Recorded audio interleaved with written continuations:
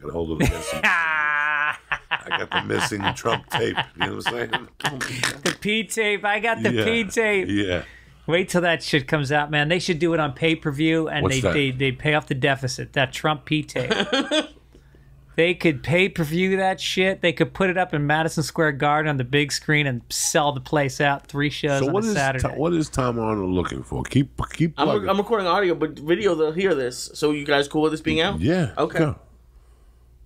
Press it let's do this it's shit. not like the president's vindictive and will hold us against us. Greetings from Podcastville. The Church of What's Happening Now is brought to you by Robinhood. Robinhood is an investment app that lets you buy and sell stocks, ETFs, options, and cryptos, all commission free. They strive to make financial services work for everyone, not just the wealthy. Simple and intuitive, with a clear design, with data presented in an easy to digest way. The reason why I'm telling you about this is because Robinhood is giving the church family free stock like Apple, Ford, or Sprint to help build your portfolio. When was the last time anybody talked to you about your portfolio? Uncle Joey's talking to you about the portfolio. Sign up at robinhood.com church. That's church.robinhood.com. I'm sorry. Church.robinhood.com. And they're going to give you a free stock like Apple, Ford, or Sprint just to help you get started. All right. This is co- no commission fees. Other brokerages charge up to $10 per every ta trade, but Robinhood doesn't charge commission, fees, trade stocks, and you keep all your profits. So do me a favor go to church.robinhood.com. The church is also brought to you by my motherfuckers, motherfuckers, because listen, tis the season to make Gitas, okay? Fuck being jolly. You need Gitas to be jolly, and that's when my bookie comes in. Remember who you're betting on is just as important or who you're betting with. And that's why I always tell all you fucking sickos to bet with my bookie. I love you motherfuckers. Now trust me, guys, they're the best bet for you this season. They've been in business for years. They got great reviews online, and their mobile site is nice and easy to use. So do me a favor. Go to mybookie.com right now and deposit after 7 p.m. Eastern Time, and they'll give you an additional $25 free play on deposits over $100. Use promo code CHURCH to activate your offer. Kick this fucking muley. Fucking tremendous. What up, Greg? Fitz? How are we gonna follow that? How are we gonna follow that, Joey? With the fucking thing. Now, what is Tom Arnold looking for with this fucking show? What is he looking for? just I haven't saw- seen it. I just saw the commercial for it. Yeah. He jumps on the desk. He's looking for a P tape Yeah. and all the missing tapes. Yeah, I thought he was what looking for the. N word tape. That's what From from, all- the from- Apprentice. from The Apprentice, all that shit. What hurts him more? The N the N word tape getting out or the P tape getting out? P tape. None. That's No. also true. You know, the other day we were talking about something. What we forget as a country is that we've hated every president the less. Since I came from Cuba, you motherfuckers been hating presidents. Yeah. All right? You hated Kennedy so much you shot the motherfucker. Then you impeached Nixon, whatever. I mean, it, I still remember the night he fucking was on TV. I was a kid, and I was crying. I really believed in America. How can a pre?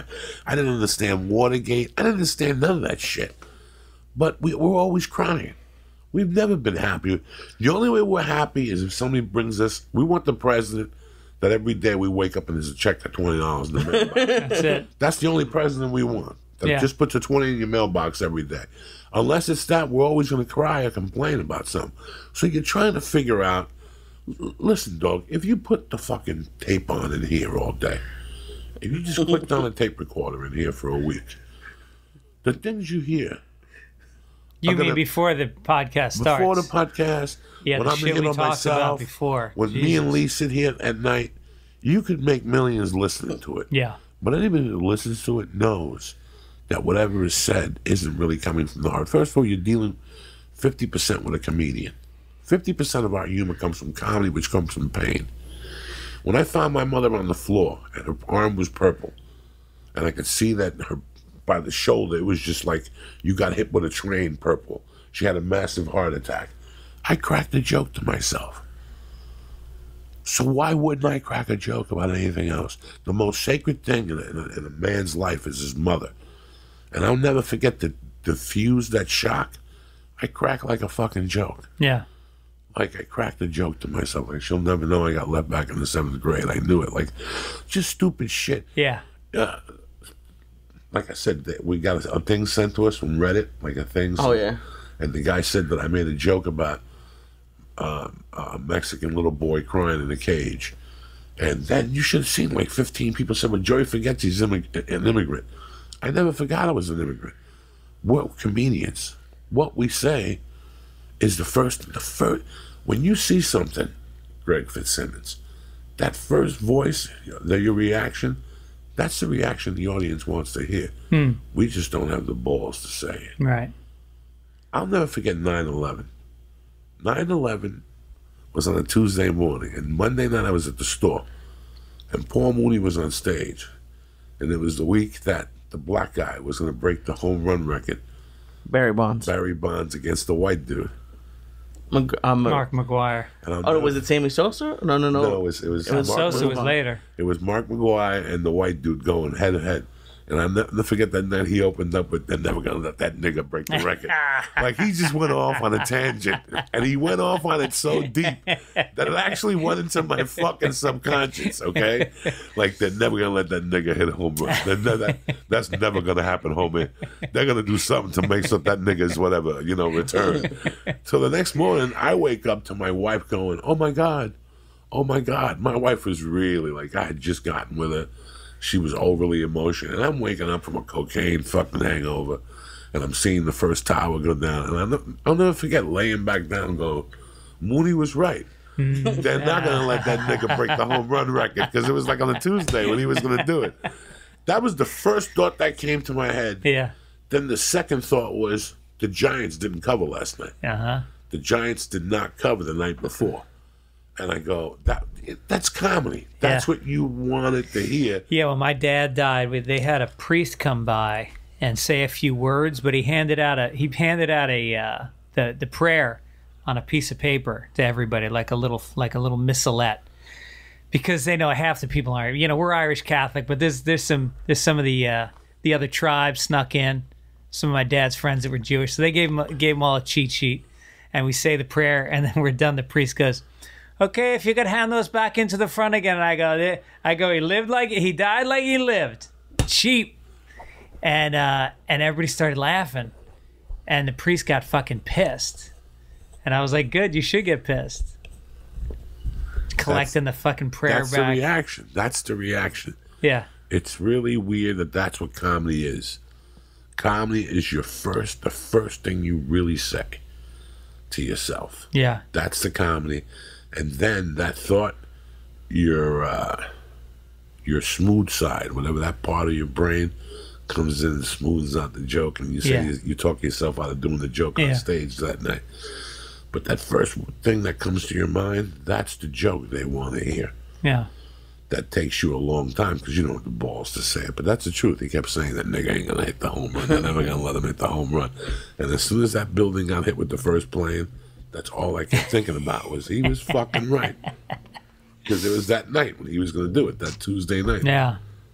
Dude, I, I was on stage last Thursday night, and uh, I, I did this joke. I just stupid new joke. It wasn't like anything I thought much about. It's probably not a joke I would have kept, but I just threw it out there because I had a piece of paper with new bits written on it. And it was Thursday night. There was fucking twelve people there Where was this? at the improv.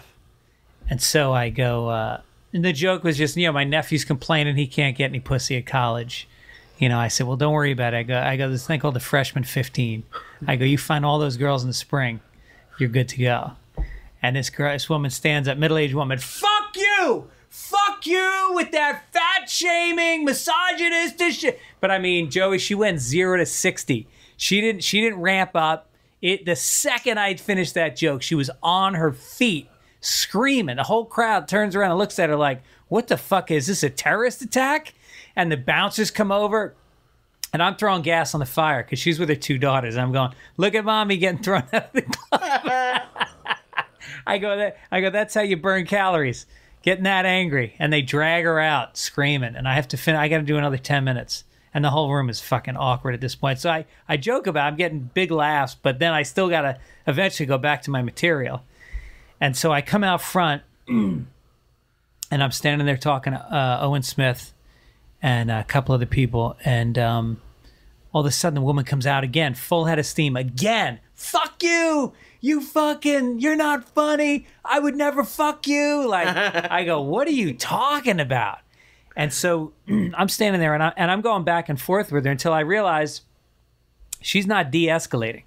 Like, her pitch is staying at 10, and I'm not going to stand on Melrose in front of the improv screen with this crazy lady for any longer. So I turn around, I walk away down the street to go to my car. But she's screaming at the back of my head, and I feel like a bitch. Like I'm walking away from her, all the comics are watching. I'm not even turning around. I'm just beelining back to my car. And so, same thing. I, I uh, the next day, it got tagged on so, some social media of mine, and and she wrote this fucking letter. The daughter wrote this letter saying that I'd, I was a misogynist and what I said about her mom and blah blah blah, and blew it all up. And then of course all the comments are like, I would have kicked his ass and all this shit. Like nobody, they weren't there. They they're hearing a crazy, and so uh, yes, it was a whole thing. It was a whole thing. What do you think of this thing that's going on right now? Well, that I could come out after 36 years and say that you choked me at a party or you showed me a dick. What the? Where are we going with this? Mm. Where are we? This is what I was scared of. This is the first time that I, I've. I, okay, so now it's not about what we did two years ago, or that I showed you my dick in a room, or nothing like that. Now it's something that happened. So for 36 years, while I was a judge, you didn't say nothing and there's already women fucking saying no. Like they don't even know the whole. Nobody knows the whole story. Nobody was there. Well, I, that I think that's the scary part is that just because of the way things are now is that not that they, they can't say it, but it, it, it, everyone immediately goes guilty, and you can't really recover from that.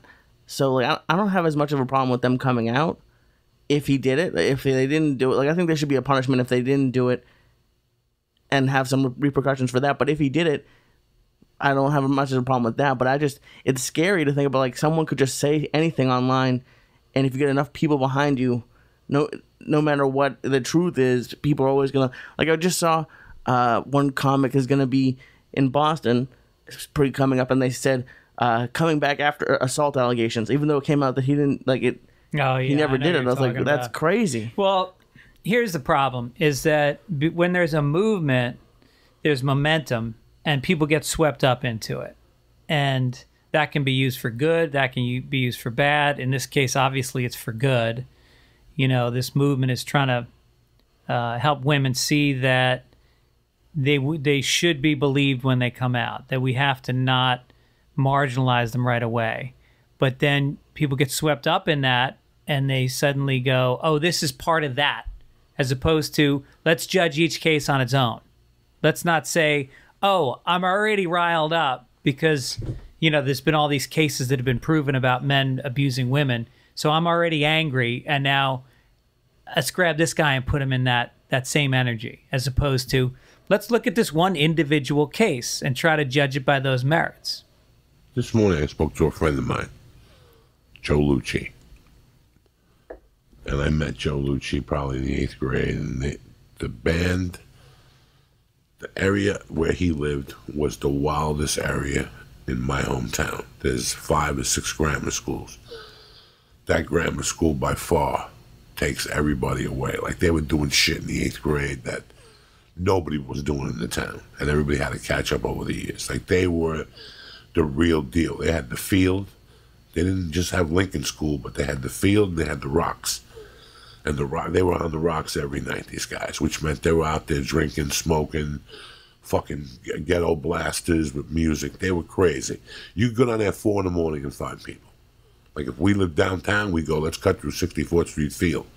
You'd find eight motherfuckers tripping on acid. I mean they, they were just deep. And uh, he goes i'm coming to the show to see you in west palm beach and i'm bringing my wife. He goes should i bring my daughters what do you think? And I go, uh, no. I go, unless you want them to know that I OD'd in your backyard. And me and him started howling. I went to his party. Like I went. I was a junior in high school, and I went to his party like at six o'clock at night. His party was started like at four in the afternoon, and I got there like at six with a gram of blow. I was in high school, in Quaaludes, but they were the counter Quaaludes. That's when I started eating the ones that people were making at home, Yeah. which the table are crooked, Right. which means that the the the, the thing leaks into the bottom ones, and these Yeah. stay weak. Yeah. So I ate one of the weak ones first, and then I ate the second one. And all I remember is waking up in an alley at four in the morning with drool and puke all over me, and the next day hearing the stories. Yeah. How are high school kids allowed to be drinking? At, I mean, obviously, anyways, but at 4 This- p.m. thi- Like when I did that, this- we tried to hide it. His parents owned the bar. Oh my oh, god! Oh, was that a bar. His parents owned the bar, so they was always they were always at the bar. Yeah. So he would have parties in his basement that were just legendary. But his legendary parties were were before concerts. So I still remember going to his house. You ready for this, Joe Luch? August fourth of nineteen seventy nine. They would start at four. You'd get there, there'd be a keg of beer, and there'd be twelve guys and twelve girls or twenty girls or whatever the fuck and people were smoking, snorting blow, eating pills. And then at about 6:45, we'd walk to Kennedy Boulevard, take the bus into the city, and walk to Madison Square Garden. Fucked up, fucked up, and go watch. We went to see ACDC and Ted, and he said all that. He goes, "That was a rough one." He goes, "I remember just Angus running through the audience with on top of uh, whatever's. But then he, we all have the same trait. He goes, I started doing that tradition way before anybody, before a concert, like meet at my house at three. He goes, the first party I had was Monday, December sixth, 1976. And he's my age. So he had to be fucking 13. He was 10, not 10, 13. And he goes, I went to see Black Ted Nugent open up for Black Sabbath when he released Free for All tour. And he goes, Guess what else happened that night? The Cleveland Browns beat the whatever in Monday Night Football. I mean, that's how good his memory Yeah. was. Yeah. But I was just thinking about how could you judge me from that night? Well, you can't judge somebody from what they did 30 years ago, or I'd be under the prison. Yeah, but drugs is different than uh, holding down a woman against her will, trying to take her clothes off. You know, that stays with her. That thing, her memory of that night is going to be a lot more clear because for a woman to be attacked like that is traumatic, and it stays with them and it fucks it fucks up their head. Now, why wouldn't a woman wake up the next morning and contact the authorities or contact somebody Well, because there's or a, hold it in for 30 years? I mean, the whole thing about holding it in that long is uh, it's a mystery to a lot of people.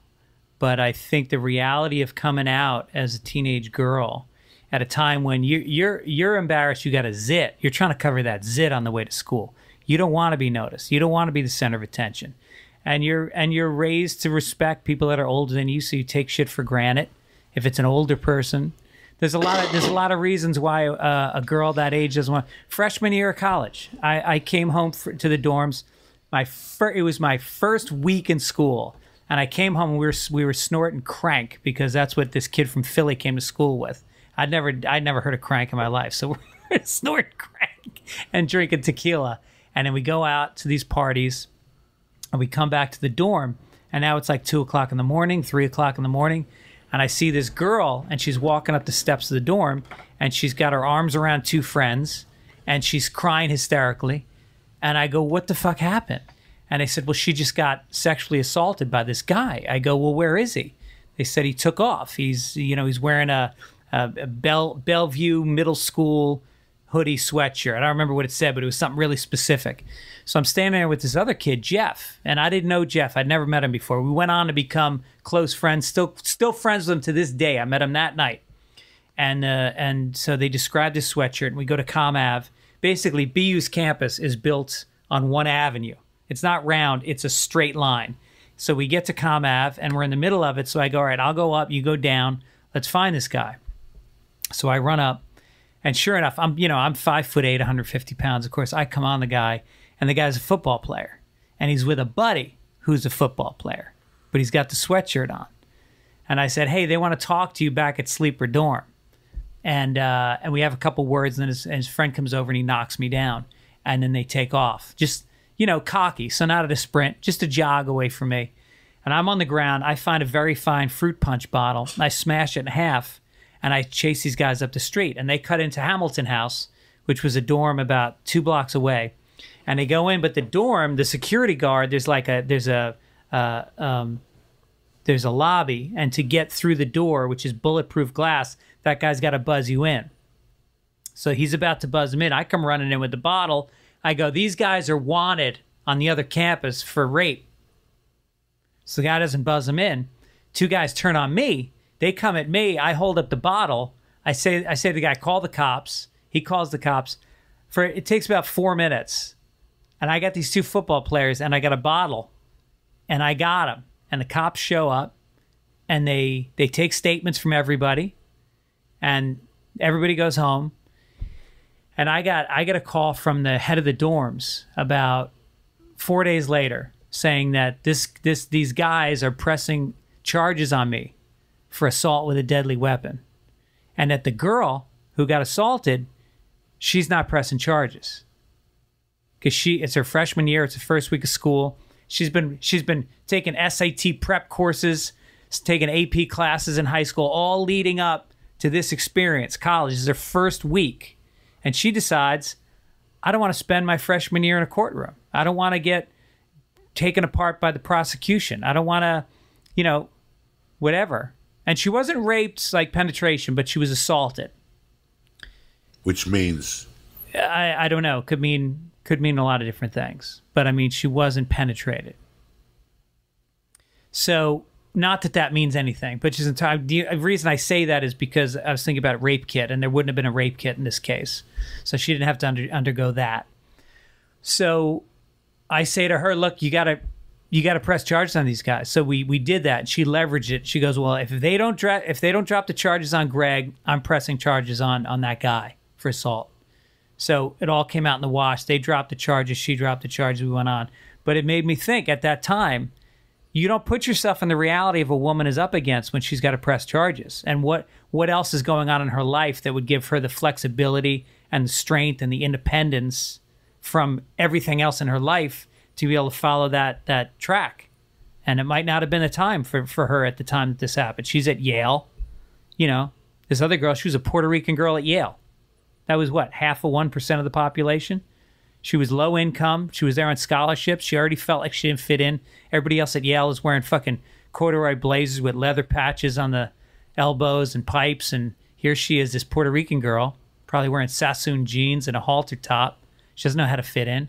And now she's going to press charges on a guy who's Kavanaugh.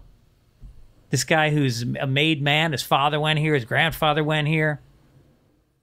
You know, so she sat on it. On, re- on this is a reality on college campuses. Right. Because I used to hear about little things in Boulder that would like.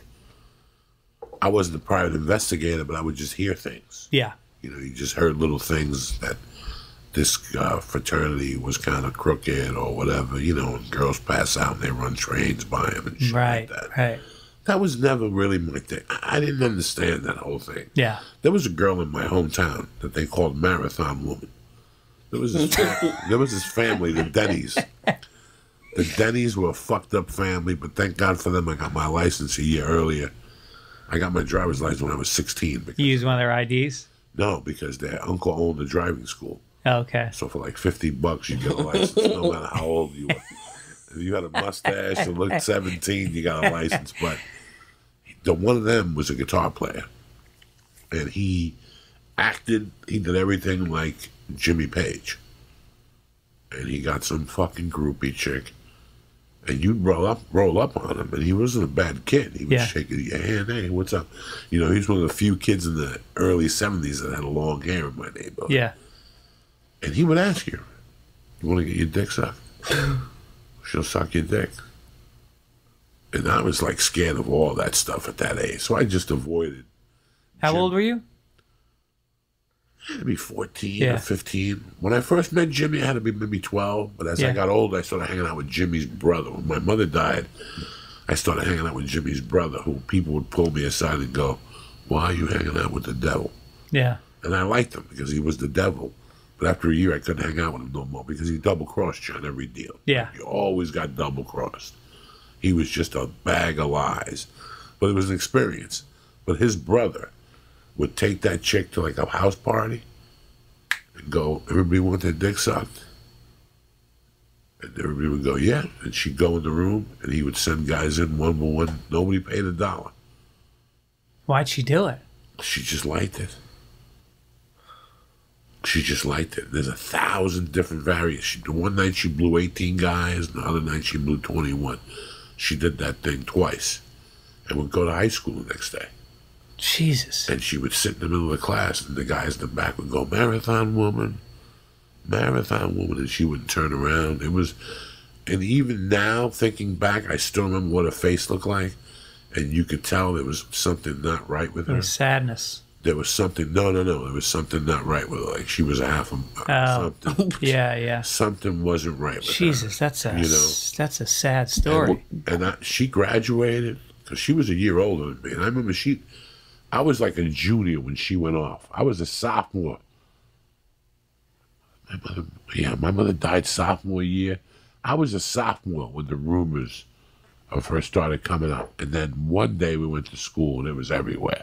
Yeah. Like she had blown 18 guys and came out and burped. She said, Who's next? You know what I'm saying? Like that type of shit. Jesus. And I spoke to somebody recently, and they asked me, "Do you do you remember that night?" I go, "I wasn't there. I wasn't there. I heard about it both times that she went off. I was at a party somewhere else uptown. Both times was downtown, because Mike Denny lived downtown, and we're a downtown family.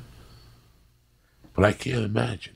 Well, this girl who uh, Kavanaugh and his buddies had all, they'd all tagged in their yearbook. There was some. What was her name? Uh, Prater alumni, it was, it was a first name. Let me check yeah, it. Pray.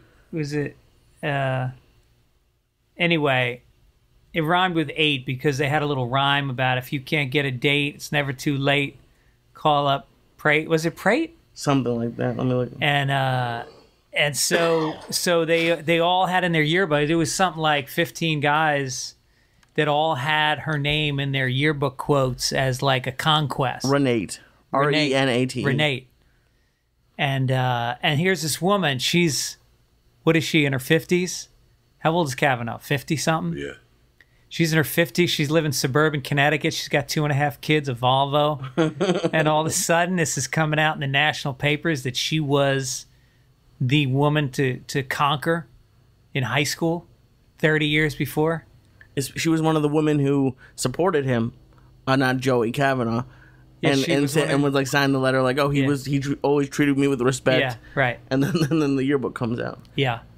do you i mean greg you have older kids do you feel like with can you blame porn how crazy it's gotten like that kids know more stuff now or did you guys know just as much when you were growing up Oh, shit. I didn't know shit. I knew just as much. Oh, I didn't know shit. I had a couple magazines, and uh, I remember the first time I saw a porn movie. I was at my buddy, uh, my my Colombian buddy, David Aranguren. Him and his brother Hector. They lived above a, a bodega on Cortlandt Street in New York. New York had projects. Or Tarrytown, where I grew up, had projects downtown because we had a GM plant, and there was a big Cuban, Colombian, black neighborhood downtown, and he lived in the middle of it. It was it was actually really fucking. It was dangerous. We used to get robbed all the time. And so we're sitting in his apartment, and Hector comes in, and me and David are maybe, maybe 13, 12, probably more like 12. And Hector's like, he's already like 18, and he's already he's already done some time for uh, for cocaine, bringing cocaine in from Miami, and so he shows us a porno movie on a reel to reel. That's what. That's what the original. Yeah. Know what year was this? 81. Yeah, reel to reel. And so we're sitting there watching it, and uh, I got a chubby, and he starts laughing. He starts grabbing it. He's grabbing my dick, and I'm watching these two women go down on each other with the muffs, more hair than fucking Oh, yeah. you have, Joey, on your head, Yeah, it's hilarious. going at it, and noise, but you jazz band, little some good funk, not that shitty. Back in the back in the seventies, late seventies, eighties, They had Rufus good- and shit. yeah. play the guitar. Right, right. And uh, he kept grabbing my dick, and I was like, "What- you know, what? I didn't think it was gay or weird or anything like that. It was one of those like you ever have an experience that just sort of gets bottled up in your brain, and you don't open that bottle again for like twenty or thirty years, and then you open it up and you go, "Oh, oh, that was fucked up." That was wrong what he was doing. He showed me that porn for a reason. Now let me ask you this: Would you, if he was running for governor today, Yeah. would you call up Ronan fucking Farrow and say, "Guess what? One day he showed me a porn and he touched my dick when my dick got hard." No, because I didn't feel victimized by it, and it didn't scar me. There was no trauma. Did you look at it as a joke? Like I got pulled over. One, I, I I got in a guy's car one day, and he went to touch. He asked me if I like basketball. I had the basketball between my legs, Yeah. and he hit the ball and he grabbed my dick. Yeah. And at the next light, the fucking door opened by itself. God, God had just showed me like what I had gotten myself into. Now he was going to get me out of it, but don't ever do it again. And I ran away and I got the guy's license plate number. And the next day, I told a few of my friends that if we saw that license plate, we are going to fuck him up. Yeah. But that, But that's the point. You had the power to do that. Even though in that moment you were disempowered, you still had your boys and you still there would have been retribution on your end that would have been satisfying. But for a teenage girl, it is the system's not in her favor. You know? And so and I think with this guy, I didn't feel I didn't feel that violated because a I didn't attach any sexuality to it on his end. I just thought he was fucking around, and maybe he was. But looking back on it, the odds are showing a twelve year old a porn movie and grabbing his grabbing his how old chubby. was he? He was like 18, maybe 19. So, but but it's different. I think I don't know. I don't know. I think it's more introduced- scarring when I you're. was introduced to. Right now, I can say a thousand bad things, which are, are honest. I loved my godfather. My godfather was one of the best Catholic godfathers you could ever have. Uh, when you're Catholic and you're Cuban, when somebody baptizes you, it's not how white people act. Like you don't see those people again. yeah, The Cubans hold that very sacred. right. They come to the house every week and they talk to you. And I still remember my godmother, and him and her had a divorce, and I had to pick. I had to pick. I was forced to pick a side. And my godfather used to throw me 50s. He used to take me to the movies. But one of the things he did was he would take me to his like girlfriend's houses. And he would uh, not fuck them in front of me. But I remember when I was like eight one time, we went over there and he goes, I'm going to show you something. And there was two chicks eating each other out. When you're eight, you, you, you're like traumatized. And then every time he would see me, he would say something sexual to me, like, Yeah. "Do you still piss sweet?" In Spanish, that means, "Are you, are you coming yet?" Like, Yeah. like he would just say little things to me to prep me for women. Uh-huh. So by the time I was eleven or twelve, I was already prepped. Yeah. But I was so indoctrinated, so indoctrinated in the Catholic religion that it was against everything I had, like to take my dick out or touch a girl's So you had shame about it, even I though had- you were ready to go. yeah, I was a prude. I was always, always a prude. Like, I talk a lot of shit. I didn't get my first blowjob till late because I thought if a woman sucked a dick, she was just disgusting. Like, at that age, it was disgusting. But there was an incident. There was an incident when I was about in the seventh grade or eighth grade. There was an incident one night where my high school teachers played the Mets my the, the faculty from North Bergen played against the Mets in a celebrity charity basketball game, and the place was packed. And I was with the kids from downtown, Martin Perez, these this other group of kids, Peter Jimenez, Julian, he was dead now, all these guys. And on the way out, there was a girl. I mean, there was it was a school auditorium, you know, and it was emptying up. and there was a girl, and everybody was grabbing her tits. Like at one point, she was like covered up, and people were just like grabbing her tits or grabbing her ass, and she was like turning around. And I even think I grabbed the tit too, and I was really young. I remember that I got really like my dick got hard and my face got red, and I remember that it started off as a joke with this girl. Like they were saying she was giving free squeezes or something.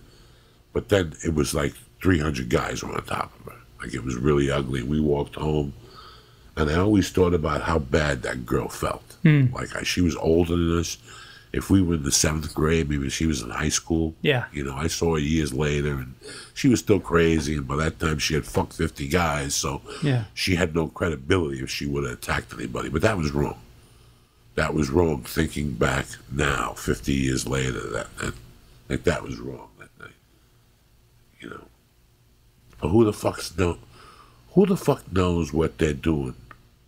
Like Cosby got three years today. Yeah. Three to Three to 10, 10, yeah. Three to ten. That means that means a year and a half. That's a year and a half. Good behavior. That's a year and a half, and he's got tons of money. Yeah. And he's going to claim that he's sick, so he put you in a hospital. It's really not jail. And then you get special privileges, and he gets a TV. He's never going to. What he did in my world is just fucking terrible. Sixty women And, and that's, came after him. And that's just what. Those are just the ones that came forward. That's just the ones that came forward. Triple that. There's triple that that said, you know what? We don't want to deal with it. We don't want to Yeah. open up this wound. Yep. You know, they could go into somebody's house and waking up on the couch and going, "What happened? Ah, we were fucking around. We ate a star." You know, like we just ate an edible. Don't worry about it. You'll be fine. Which did happen to you a couple times, but to men. it happened to men. We just left George Perez on the couch. We just left him on the couch. Sarah Tiana, I helped her over to the couch and put it down, put a blanket on it. You know what I'm saying? Owen Benjamin just never came back. He Yeah. just got up, walked out. Next thing you know, he walked to Vermont. And the next thing you know, he was getting chased out of Vermont. Now he's off of Twitter. Oh, Him and Alex Jones are starting a web page together and shit. He did get. Did he get thrown off Twitter? A while ago, yeah, he could before Alex Jones. I me- I remember watching his videos, and they were they were fucking they were bent. He was he was losing his mind. He gets mad when people say stuff like that. appar- Apparently, Oh yeah. I mean, who knows? Maybe I. I don't think it's fake, but it's. You it- think it- he believes all that stuff? I don't know. It seems like it. Who? What does he believe? He's super right wing. It was a lot of like alt right kind of stuff, you know, conspiratorial shit and uh, just. But I don't know. I don't want to speak. I shouldn't speak about it. I, I opened my mouth before I should have, because because he you know he's a friend. I haven't He's a seen nice him in a guy. while. No, he's, he's a, a nice very guy. nice guy. I'm not saying he's not, not Yeah. bad. We're talking about edibles now. yeah. He was fine. So he came in here one day. He ate one of those red stars. I saw him like stretching his neck and shit, yeah. like he was doing something weird. And all of a sudden he goes, "Do you mind if I take a walk?" And that's it. Yeah. Like he never came back. Right. And we spoke briefly the next day. He's like, "Man, I just started walking," and then next thing you know, a week later, he's moving to Vermont. Like Yeah. that. Right. That star changed his whole world. Mm-hmm. Like it, it put him through changes. Well, your whole week we were just talking before the podcast about how Greg's producer, who produces XM Radio, is a good producer and forgot to press record once because you gave him something. I don't even know what you gave him, but the fuck Gummies. knows? Gummy Gummies. bears. Yeah, it was gummy bears. It was like uh it was like Mardi Gras. You were throwing those gummy bears around like like we were a bunch of fucking frat guys. It's but every time No, you- Chiba Chews. Chiba Chews. Chiba Oh, Chews. boy. That's Let me what it you was. Those edibles, all even acid. That's one thing I stick up for, like acid, Really? Chiba Chew. Let me tell you something, man. And I'm gonna tell you this, and you could say whatever you want or whatever. Number one, I would have been dead right now if I would have done acid after my mom died. When it was real acid, when people were getting real acid, it opened up your mind. It really did, as dumb as this fucking sounds. But smoking marijuana opens up your mind. If you smoke marijuana, if like if you don't smoke marijuana, like Lee, for example, and you started smoking in the morning, Yeah. putting the iPad on, or i whatever, iPod? speakers of music, and you went for a walk, you'd be surprised at the thoughts that come into your head. That's why I always enjoyed marijuana. I enjoyed marijuana from the beginning because now I had somebody to answer my questions. the truth. The truth. I think in some ways marijuana, it's not necessarily that it gives you the thoughts, is it quiets all the other thoughts. So you can hear the one that was down there in the first place. that's what I loved about. I loved, like that's why I don't even drink when I smoke pot. I always just settled on reefer because I didn't like the effect alcohol added to it. Alcohol added the yelling and screaming effect to it. I don't like that. I just want to smoke a joint and put it on out. And Yeah. Don't ask me no question that has no meaning to it because I really don't give a fuck. I'd much rather listen to the. album. What's the last time you put on an album and just sat transfixed?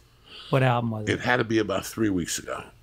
I came in here one night. I was home all week, like we did the podcast in two nights, and I didn't have a spot for like three nights. And I came in here, and it had to be ten o'clock. I knew Lee was at the fourth wall, and he wasn't going to stop by. and I put on for the first time.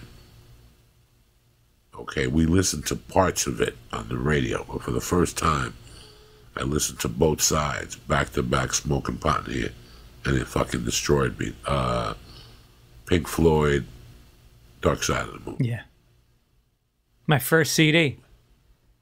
Yeah, like just listening to the whole album, both sides, made me realize I gotta up my comedy game Yeah. because this was the fourth of five masterpieces in a row. That's never been done. Did they have five five albums that good? I think it's Meddle, Wish You Were Here, Animals. Animals, Dark Side of the Moon, and, and it ended with The Wall. The Wall. Right. The original lineup. Yeah, that is that is five. So five even if I remove albums. Meddle and I put Wish You Were Here, Animals, Dark Side of the Wall, and the and it ends with The Wall. Dark Side of the Moon ends with The Wall.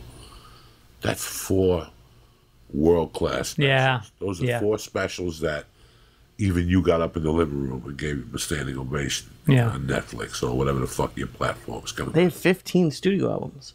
yeah. Did they really? Crazy. Damn.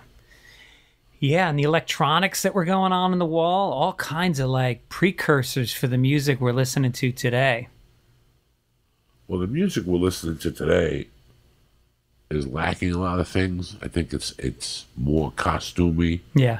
than music. Did you see that thing yesterday? Ace Frehley will be your best man for six thousand dollars at a chapel in Vegas. If you Is get it a married. reality show or for no, real? from October 26th to the 28th. if you get married a Kiss in, in Vegas for six grand, he'll either marry you, walk her down the aisle, or be your best man, and then sing two songs for you, something like that. I was thinking of splitting it with somebody and getting like a gay marriage. And having Ace Frehley be my fucking. How funny would that be? Marrying Eddie Bravo in gay church Right, right. In With- full makeup. with full makeup, kiss makeup. No, no, no. He's he looks like a bus hit him.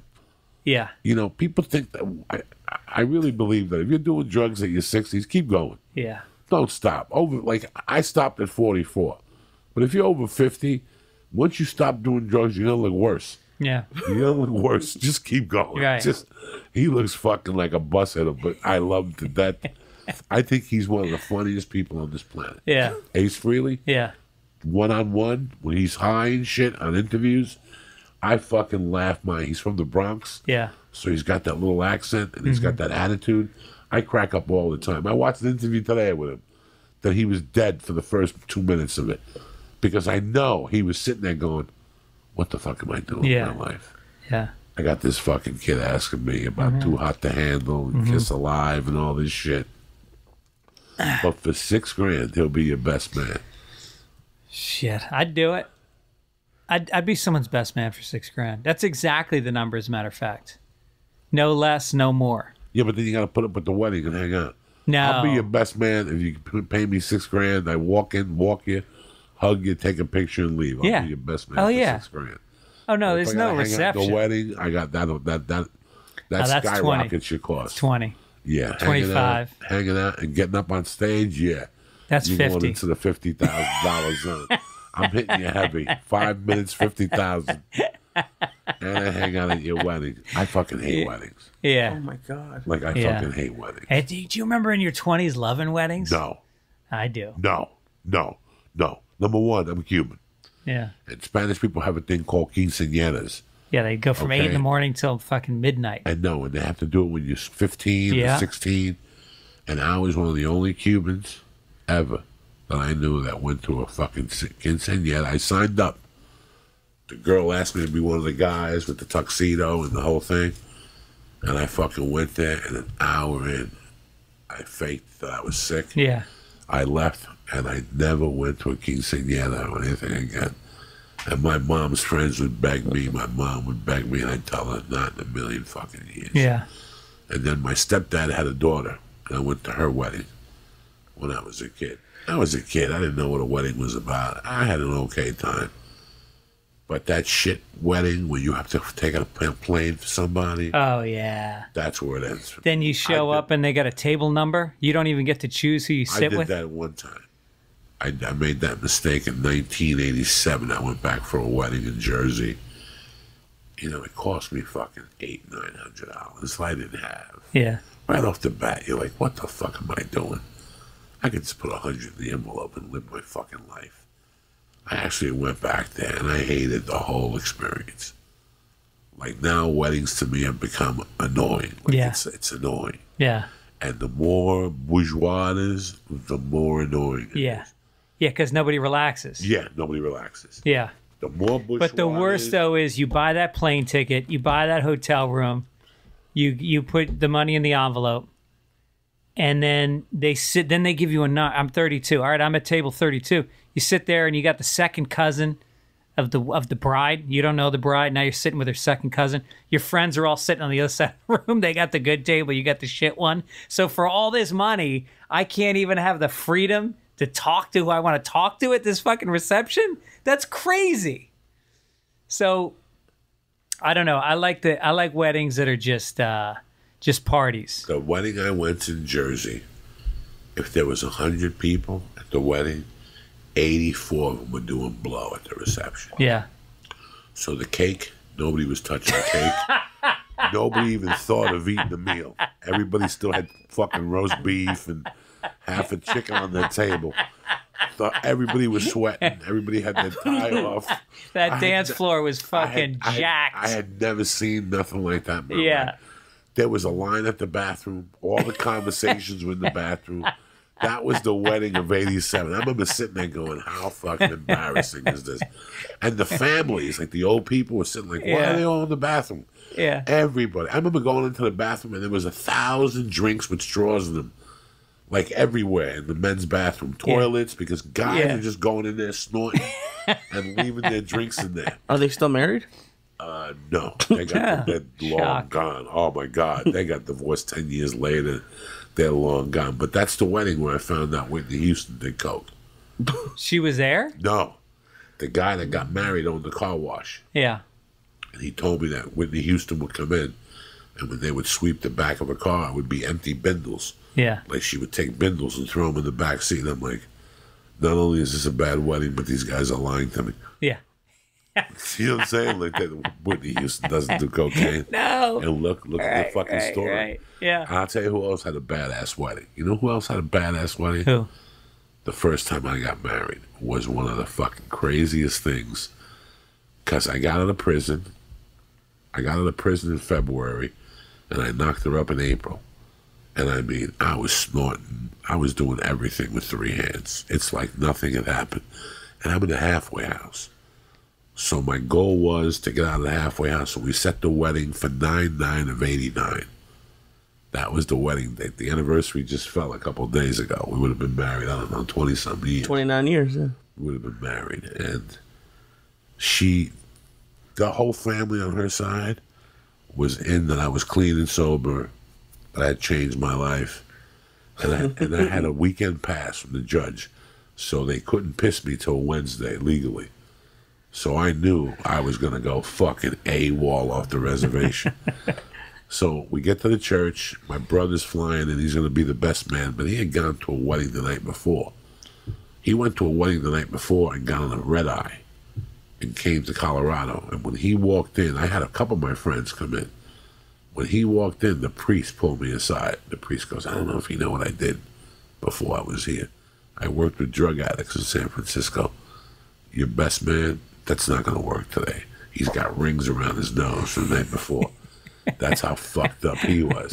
So another friend of mine, Georgie, had to step in and be my best man. But Mike was in the back fucking hammered. Yeah.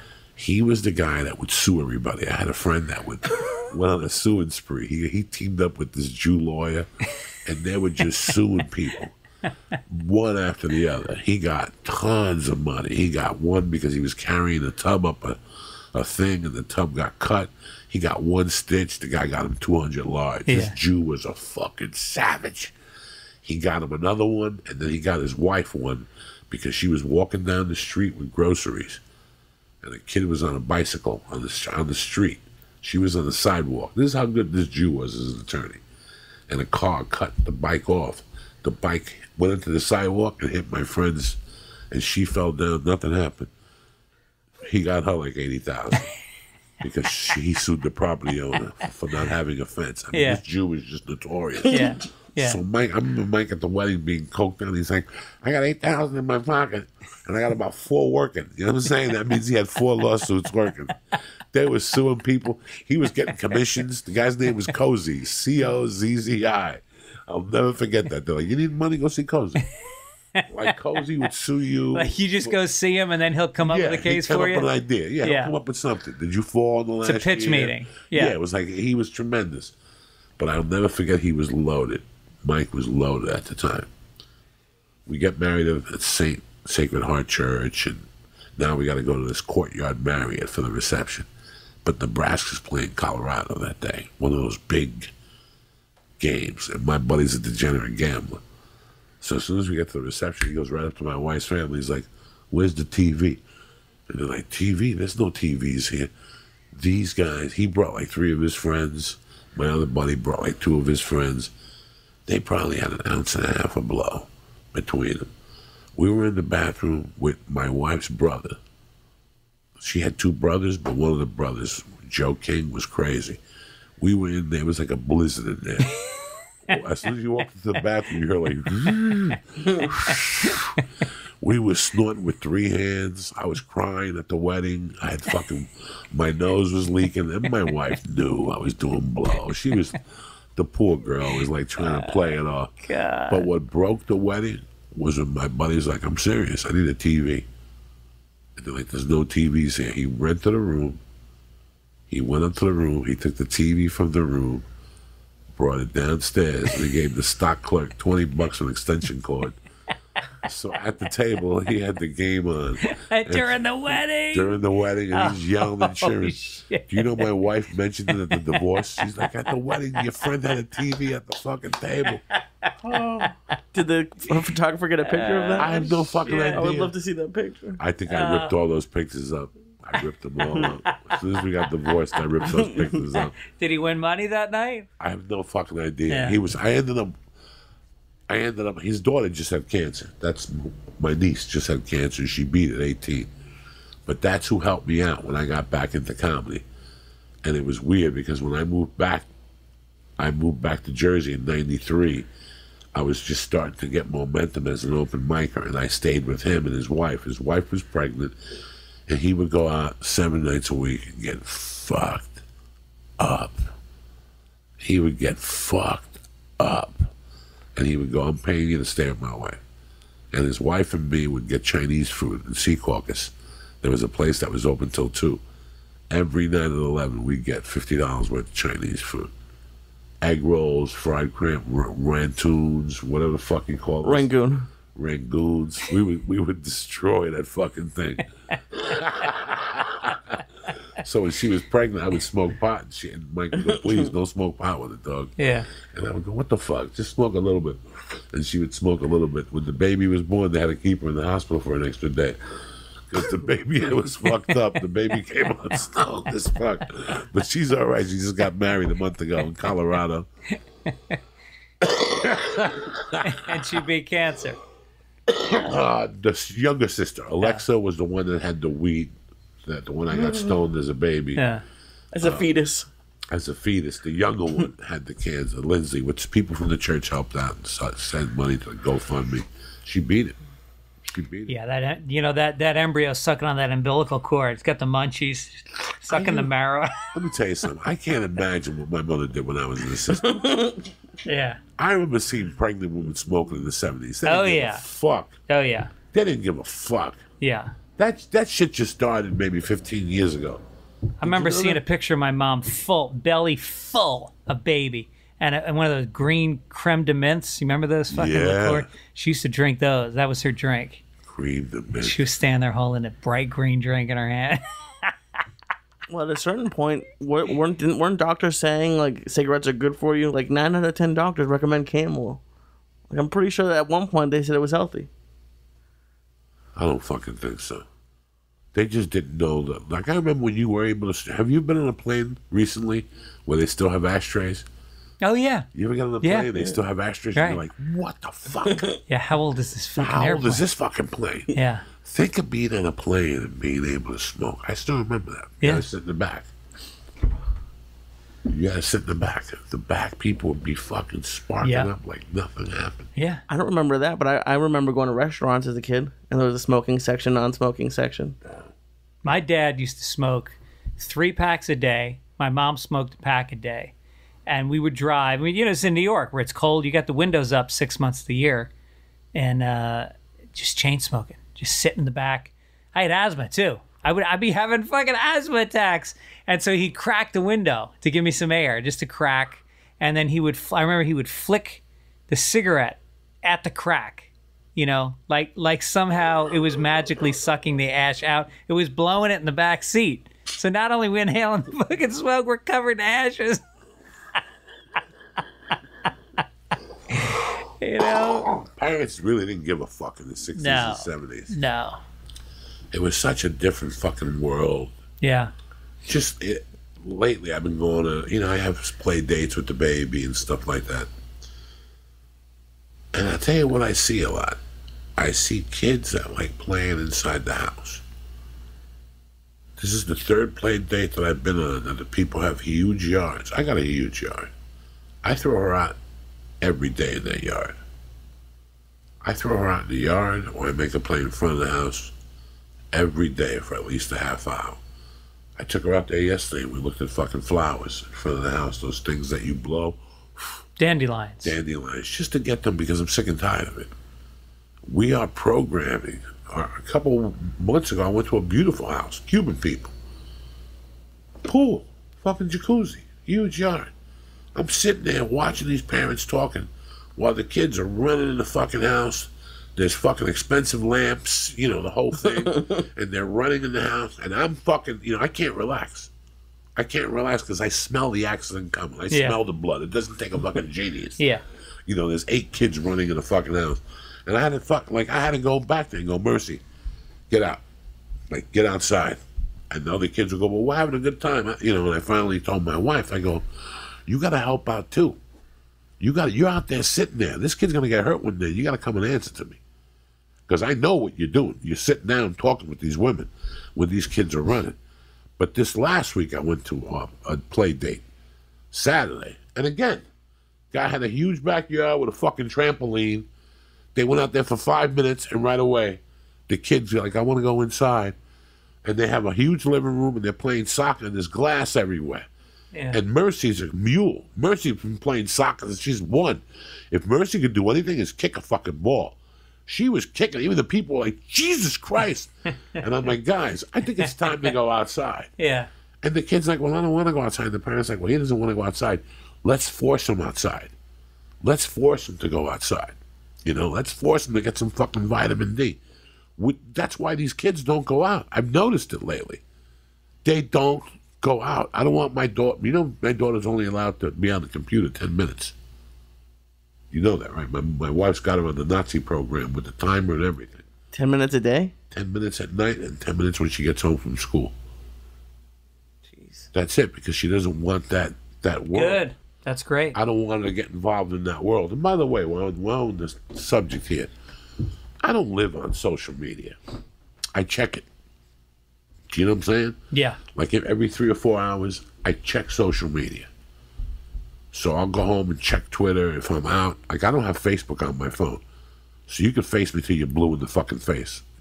I don't know what you're talking to me about. facebook Yeah. yeah I i even ch- i check it twice a year I don't have Facebook on my phone. I Yeah. get on Facebook for two, three minutes. I promote. Yeah. I answer some emails, but I don't check it all day long. Yeah. And the same thing with Twitter. I don't, I'm not on Twitter all day long. I check it, and I move on with my life. There are people that are on that motherfucker constantly, constantly. You look to see who's tweeting. Kate Kate Quigley is constantly tweeting. Dean Delray, I don't know how the fuck he has the time to be. It's a bad fucking habit. Rogan, I spoke to him last night. And he goes, I asked him how the hunting trip went. And he goes, I had a really good time. But he goes, you know what the best part of the hunting trip was? There was no internet there for a hmm. week. I go, what kind of whatever did you have the first few hours? He goes, the first day it was a little rough. After that, it was smooth sailing. It was great to give it a fucking breather. Yeah. Guys, do me a favor. Scott Cunningham, the whole fucking Facebook group, all you guys, I love you to death. But stop. Go outside. Go do something. Yeah. There's guys that are around there all fucking day talking about shit that at the end of the week, it doesn't matter. It I know, and then I see I see comics like that, and then I see them at the club, and they got no new material. They're doing the same shit. I look at them like, you know, you could have spent all that fucking time There's, there's, working on your act. there's a time for this, and there's a time. It's like I was telling Lee that when I was 27, locked up, a black guy in the kitchen made a comment to me. We were, uh, we, I had like insomnia one night. We were talking. And he goes, you know, think about all the shit you spend your energy on. That's bad, and the, even the thinking. Think if you took that energy and expanded it into something good. And ever since that statement with him, I looked at everything a lot differently. I love football. I love football, but I don't have eight hours to watch football. Prior to that, I'll never forget. I could sit in Colorado, especially in Aspen, from uh, the seasons from November 18th to maybe March 15th, and then from till May, there's nothing going on in Aspen. Like if you live in Aspen, only the locals are working. They close the restaurants, the ski shops are closed, everything's closed, and everybody goes away. I would stay. You know why I would stay, Lee? Because I would get up at eight in the morning and get a bong. Even my girlfriend would go back to her parents' house and visit them in Boulder, and I would stay in that house all fucking day watching movies. Like I could stay there all day, going from movie with VHS. I could sit and watch six movies in one day, and watch one movie twice.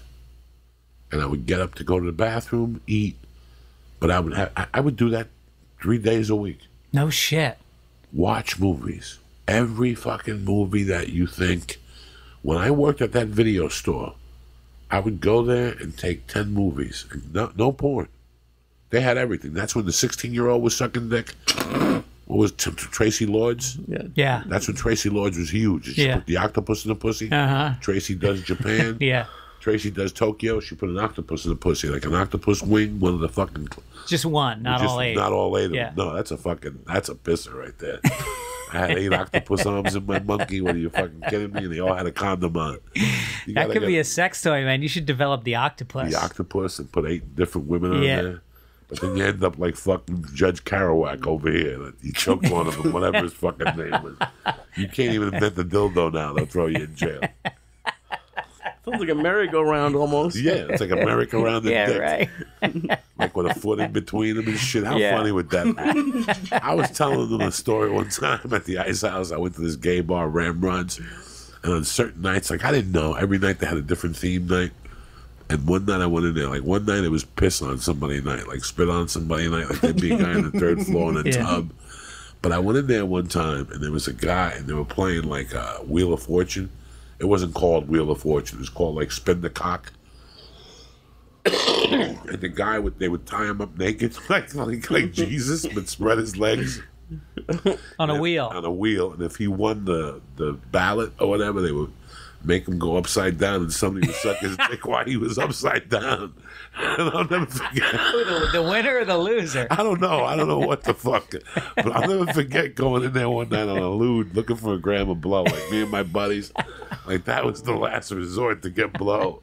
And we went in there and everybody was around this like, you know, cheering, go, go, go, go.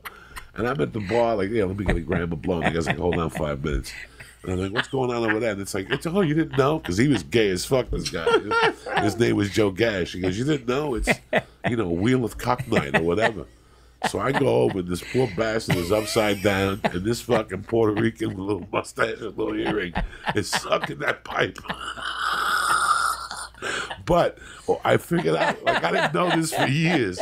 Like, this type of shit, you're not supposed to see that when you're 18. But here's the thing I don't here's the thing I don't understand about Joey Diaz and the church what's happening in general.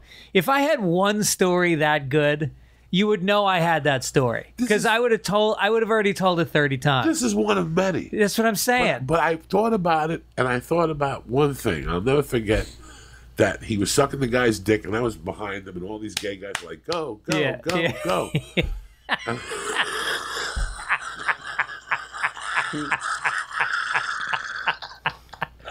I finally went Is over. bankrupt bankrupt? You got to eat his uh, asshole. No, I don't know. I don't know. The guy's upside down. He's yelling because the blood's in his head. So this guy's sucking his dick. But I'll never forget that hmm. something made me go around to look at what the guy what looked like that was sucking his dick, and he was sucking it. You understand me? When all the blood goes to your head, I don't think your dick gets hard. So this guy had both his cheeks connected, like he was like.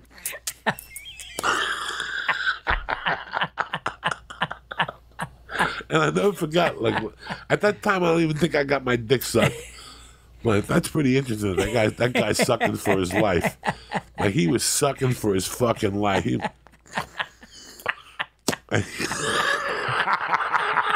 I love how you pass out of the sight of blood, but you just sit there and watch this. I watched it for about a minute, and then I went back, got my gram of coke, and left, and never said nothing to nobody. It was nobody's business. You know what I'm saying? I saw a guy get his dick upside down.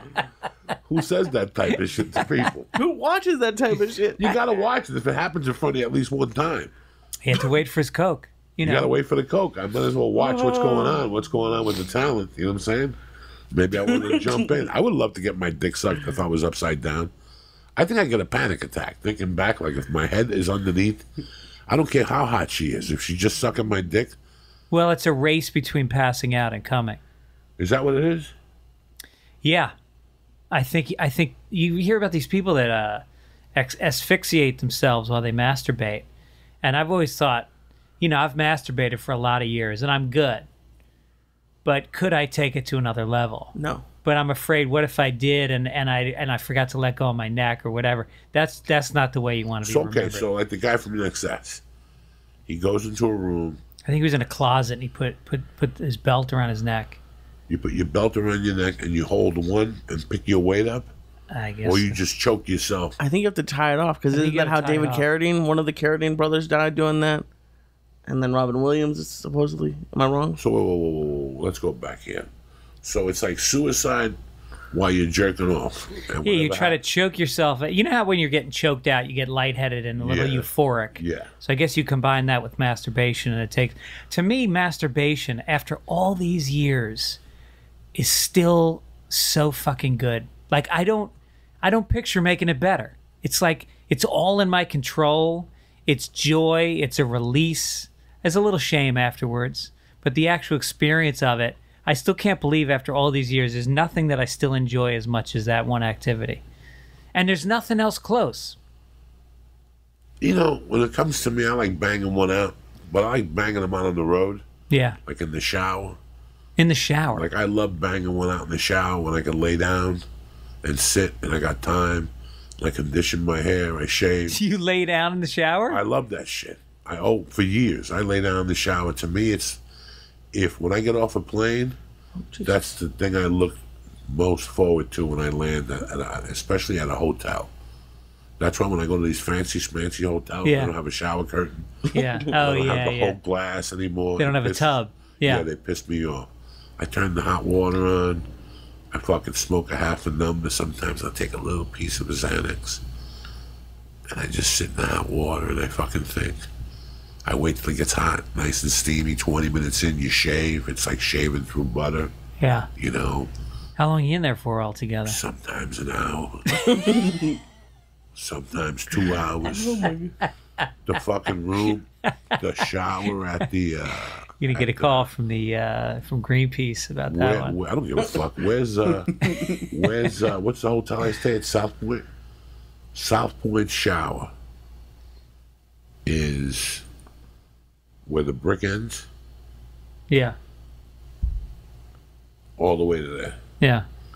You walk in, you open up the thing. They have a sink in the shower, and then they have a gun, and then they have a shower, and then they have water that comes out of the walls, and they have a little bench. You know how many times I've gotten up there at four in the morning, rolled a fucking joint, smoked it, gotten toasted, because I paid a two fifty fine there. I don't give a fuck, because by the time they, it's just a big room. I'll pay. I'll smoke a joint in the bathroom. I'll sit in there from four to six thirty, thinking about my life. the Imagine the joke. neighbor, Lee. You know, because you could hear that shower going No, in the next can't. room in a No, hotel. Oh, he has a big room in, at the. At the, but, he knows it's the sophomore. He's been in it. yeah. but you but you used to do that when you were big, right? You used to sleep in there. I when I had the sleep apnea, I realized that the only way I could fall asleep is if I was on an angle. Yeah. And uh, you know, you go to these people's houses, they're rich, and you ever take a shower at somebody rich's house, $1.8 million, $2 million, and after 10 minutes they got no hot water. You- got a waste of a house. Yeah. You got your house is a waste. Yeah. 10 minutes, and I gotta I gotta wait another half hour for the water to get hot. You got beat. right. I lived in a building in Hollywood that had one of those old tanks. Do you know I used to sleep in there? You'd keep the water running while you slept. Because that's the only way I could sleep. When I had the sleep apnea, I was 400 pounds. So I would go in the tub, I'd take a pillow and I'd put a garbage bag on it. One of those, one of those fucking hefty, hefty, hefty, hefty. There's so wimpy, many ways wimpy, you could wimpy. die. I would fucking close off the pillow. I would put it behind me. I would put the hot water on, and it would hit like my stomach. Hmm. And I'd just fucking sleep there. When I'd wake up, the paint would be peeling off the wall. Before we moved there, we had to paint the bathroom. I peeled the primer off the wall. Sheetrock was coming off. Mold. The fucking top was just mold. Yeah. And you could see where it was just dripped with brown mold. Every time you would paint it, the mold would come right through. When I fucking first got diagnosed with sleep apnea, that's the only way I could sleep. I love showers. Yeah. I've always loved showers. I don't understand dirty people whatsoever. Do you take baths? No. I don't want to bathe in the same water the germs that came on. I want the stuff to flush. Okay. I want to sit. Baths, baths is something like drinking for me. Like in the seventies, when you watch a TV show, if Greg walked in here in the seventies, I would turn around and have a bar with a bottle filled with a brown booze. It could be scotch, bourbon, whiskey. You don't know, but you didn't have the balls to ask. I poured two of them and I just gave it to you. That was the seventies. That's what we learned from. I don't even know where I'm going with this conversation. but uh, Baths. Oh, bats. Bats has always been something else that seemed overrated. You ever see you ever see some people on TV? They take a bath and it's like their whole world changes. Oh, dude, I love baths. They get in there with bubbles and they they sit back Yeah. with opera music. Right, right. And they close their eyes. They make believe they're having a good time. Yeah. That's two minutes for me. That's like a hand job. Me. I Uh-huh. don't like that shit. I want action. I want continuous Right. hot water. Well, what about a jacuzzi tub? that sounds like the answer for you. No, Good I like, I like the water coming on. I like Yeah. water hit me in the face.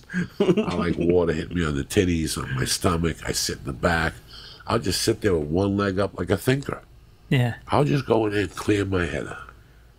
You know, when we were Clear going out the fucking we reservoir of when that we- town, too. when we were going through a drought here in LA, you couldn't take showers, and I lived next to hippies. When I lived on Hudson, I lived next to hippies. So I would take showers, and they would yell, "There's a water restriction." I would go, "Fuck you." so now, I couldn't, you know, abuse the water in LA. I would take six, seven minute showers. Yeah. But when I go on the road, that's the first thing I do. When I get off a plane, listen, you ever you ever wait to get on a plane? You see what comes off that plane? It's like jungle fucking fever. It's somebody from every different country breathing something fucking else. No wonder there's a fucking travel ban. Lee just made it audible. You you make that fucking. I'm, I'm, I'm, I'm telling you from your face here, guys.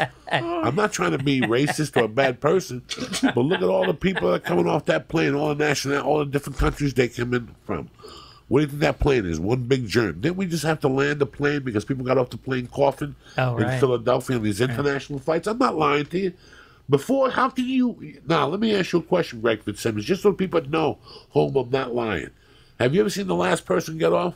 Oh, it's, yeah. How long till they start board? Yeah. Two minutes. Yeah. They don't even spray Lysol on the fucking. Oh no, they're planes. waiting. By the time if you're if you board from the back of the plane, by the time you get to the tenth row, that army has already they've already been on. They've already cleared the first ten rows. They're worried by the time five minutes later, that thing is gone. The only thing they got time to do is steal your shit. Because I have left about a half a dozen things on planes in the last few years. Laptop, computer, a phone, a couple hats, nice hats nothing ever gets returned, and I always fill out the accident. Those people are fucking, they're thieves. Granted, they're probably being underpaid, whatever, but that shouldn't make you a thief. You know, they got the bag, the garbage bag. They take your computer, they put it inside, they hold on to it, and then they uh, and then they sell it later. Well, they had that TSA guy who had like a house full of iPads. Oh no shit! That was a couple years ago. Let me look at it up. Really? Yeah. No, Yeah. but I don't trust planes just because of the fact that Lysol the plane down, and at least in first class, get them wipes and wipe down the headrest. Yeah, I don't know where this guy's fucking hair has been. Right. I don't know. I don't know what the fuck. Maybe he was at that fucking gay bar last night getting his dick sucked, and his hair was touching twenty pounds of sperm from the eighties. I don't fucking know. What about that TV screen? You know. They have to touch to order stuff. All that stuff. All that stuff. I bring handy wipes with me. Yeah. Like my wife got me a thing of handy wipes. I put it under behind the Do lap. you really? Oh yeah, man. I wipe down my fucking handles when I get off a plane. There's one thing for me to do, and that's take a shower. As soon as I get off that plane, I get in my Uber, whether it's going or coming. When I get home on Sundays, my kids are already gone. They're at church. My wife is at church already. So I'm walking in at nine thirty. I unload everything. I put what belongs in my office in the office. I put the laundry away. I strip down naked and I go in that fucking in that shower and I scrub, tub, wub, everything comes off. Then I take the homecoming shit because all Why weekend. don't you shit before the shower? because no, I do take the homecoming shit before the shower. Okay. I'm lying to you. That's Right. like the 40 inch shit. Right. Because the whole weekend your asshole isn't accustomed to the Yeah, toilet that's you're right. shitting on, so it's embarrassed. Yeah. It only lets out like eight inch dumps or four inches, little Cuban cigars. You're like, what the fuck? What's going on with my system? Let me tell you something. As soon as my asshole hits the 101, Yeah. that little magneto from the 405 to the 101, and I blast that one fart in the fucking uh, in that Uber, and I gotta open up the window, and the Uber driver is talking fucking Arabic on the phone to his cousin, and I blast that fucking pre-fart, that last blast of three fucking days of eating Yeah. on the road. Your body's not used to that. As soon as I walk in, I just drop my luggage, go to the bathroom, and it's like a 40 inch Oh yeah. that just comes out, Curls. and breaks in half. You break the break the surface of the was- water. That's was- a victory. It looks like a question mark. Sometimes the Riddler took a shit in my bathtub. I take a picture, send it to Tom Segura. You sent it to me a couple weeks ago, and I didn't. Even... God damn You it! can't unsee that shit either. No, you can't. I don't, and I won't put it on Twitter no more because then people send you shit pictures. You used to oh you used to put it on Twitter? No, if it's a good one, you got to like if it breaks in half, it looks like a cane that's broken. One, the one I sent him looked like It was a Buddha skinny. stick. Yeah. Real It skinny. was- that yeah, it was really skinny, but Yeah. it was longer than fuck. It was like the hemorrhoid Yeah. tapped into the shit and put a dent in it. It's like when you shoot a bullet, you can tell what gun it belongs to. If somebody looks at that shit, they're like, "This came out of Joey Diaz's ass." It's got the markings, Like a mugshot. like a mugshot. I had to text him like three or four times, so it stopped showing up in the in the window, and I didn't even see it. I saw it like two days later. You didn't say a word. I must have missed the text and an open mic or something. Oh my god, that's terrible. What's unbelievable is when you uh it's so long that the head of it goes down down the drain. Oh, I like that. Down the tube. So you're only seeing it's like a it's like a uh, iceberg. You're only seeing the top. The body, you already clogged up the, the, the pipe. And then you get a swirl going on a real soft, thin one. You can get a swirl going that keeps snaking. And you think, I don't think I was rotating my pelvis on that, but that is a perfect curl. And it's about, you know, 1800 degrees of That's a curl. Menchie yogurt type thing. Yes. It's like one of going to Menchie's. And then on the last, and then when you clip it and you look down and you broke the water, that's that's a that's a celebration The celebration. one I like is the one where I'm sitting there and I gotta push it for a couple minutes, and then it feels like I can feel my asshole uh, expanding like Yeah. a boa constrictor. Yeah. like I can feel it actually like going. Like you're about to give birth. Oof, yeah, it goes, Yeah. Oof, oof. So I always gotta go like, ugh. and I look down and it's like a fucking, it's like a 22 incher. Yeah. But in the middle, it's got like two little, like it looks like a snake that ate like two birds. it's got like a lump in the front and a lump in the back. Oh my God, those are tremendous. I like the ones that come out clean. Like you don't- Clean, You don't like you really don't have to Yeah. wipe your ass. Oh. yeah. They call Those that a, uh, perfect. a a white flag, I think, because there on goes, the because on the wipe you get there goes nothing the it. intelligence level on the podcast this afternoon.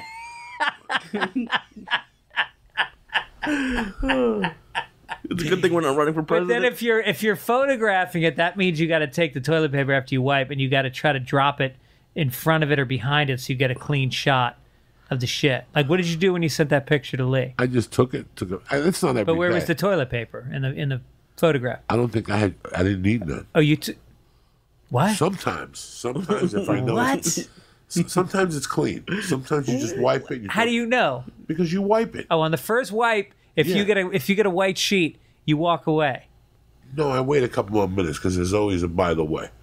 There's always I hate that. There's always something, ah. and then you get in the car and leave somewhere, Yeah. and your, your ass is spicy. Yeah. like it has a little burn to it, and then you go home and you put toilet paper. There's a little piece of shit in your ass. So I always wipe it and then give it a few minutes. That's why I have a door in my bathroom to the outside, and I smoke pot because when I cough, whatever's stuck in there will come out at the same time. So when you go, all of a sudden you blah blah blah, it starts dropping out. That's something I invented. So if you use it, give me credit for it. Don't come on CNN in ten years. Smoking marijuana while taking the shit is good for your health. And the whole time I had been doing it since fucking I moved into this. You should make like a bathroom bong. Like they have the squatty potty that helps. You should make like Right. a smoking kit for the bathroom. All right. No, because every time I, I smoke, that's what I do. I get off that plane, I, I put my shit away, and I go in that bathroom. I open up the back door. I can't imagine. I always save a nug of the best weed I took, yeah. so I don't have to go right to the weed store. There's always weed waiting for me on Sunday. Yeah. I fucking blast that off. Boom, the shower, and I'm good for Sunday. I don't do dick on Sunday. I just can't imagine. I'm trying to picture Joey Diaz, and and again, I don't I don't want to picture your ass, but I'm picturing your ass taking a 22 inch dump and followed by one wipe. That frightens me. sometimes, sometimes. I take a That's like that's like the the fucking, you know.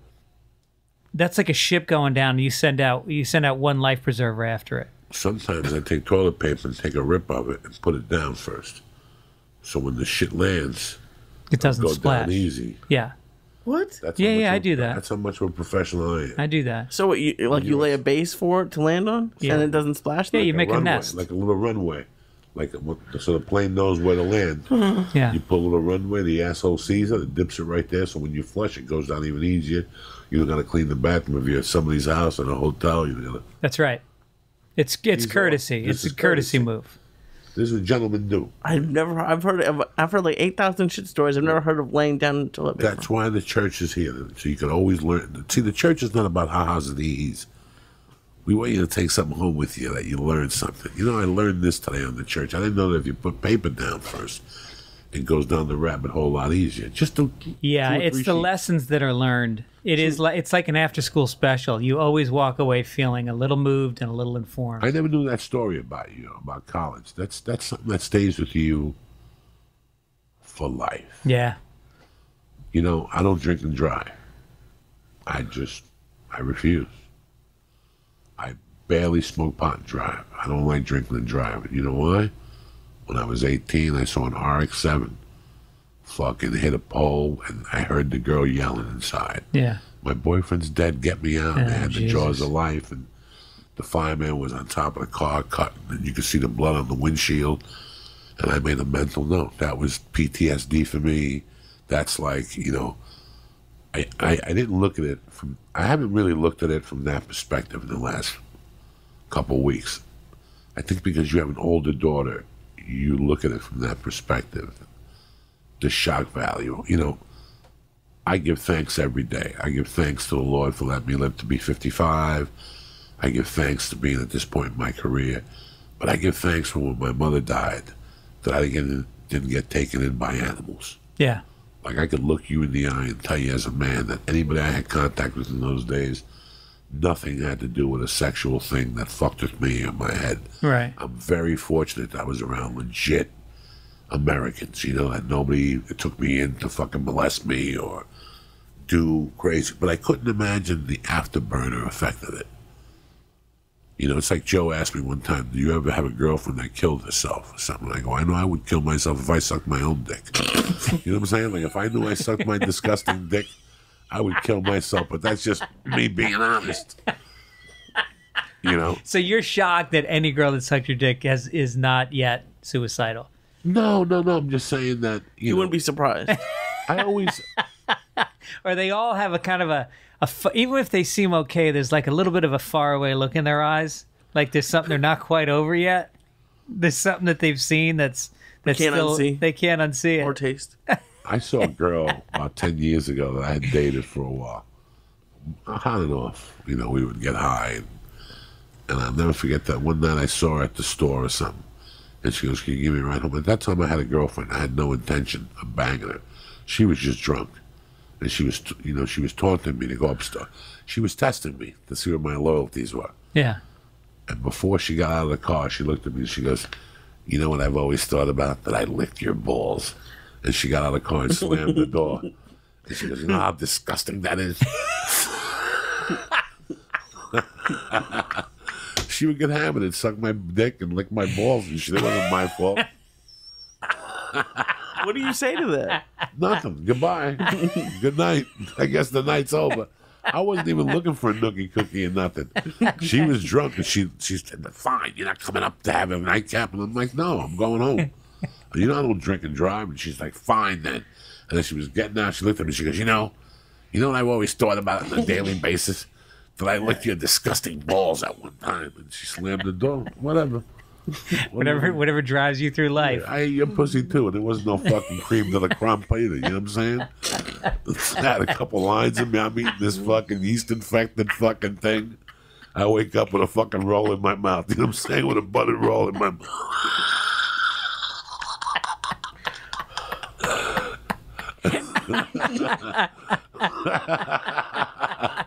when you're coked up and doing drugs, you'll eat anything. Yeah. I ate a girl one time that I could see the chlamydia juice, No, stop it. like it dripped, and it, Yeah. had, Oh, like, it, like it had Jesus dripped out, but it, Christ. it had dried. Oh.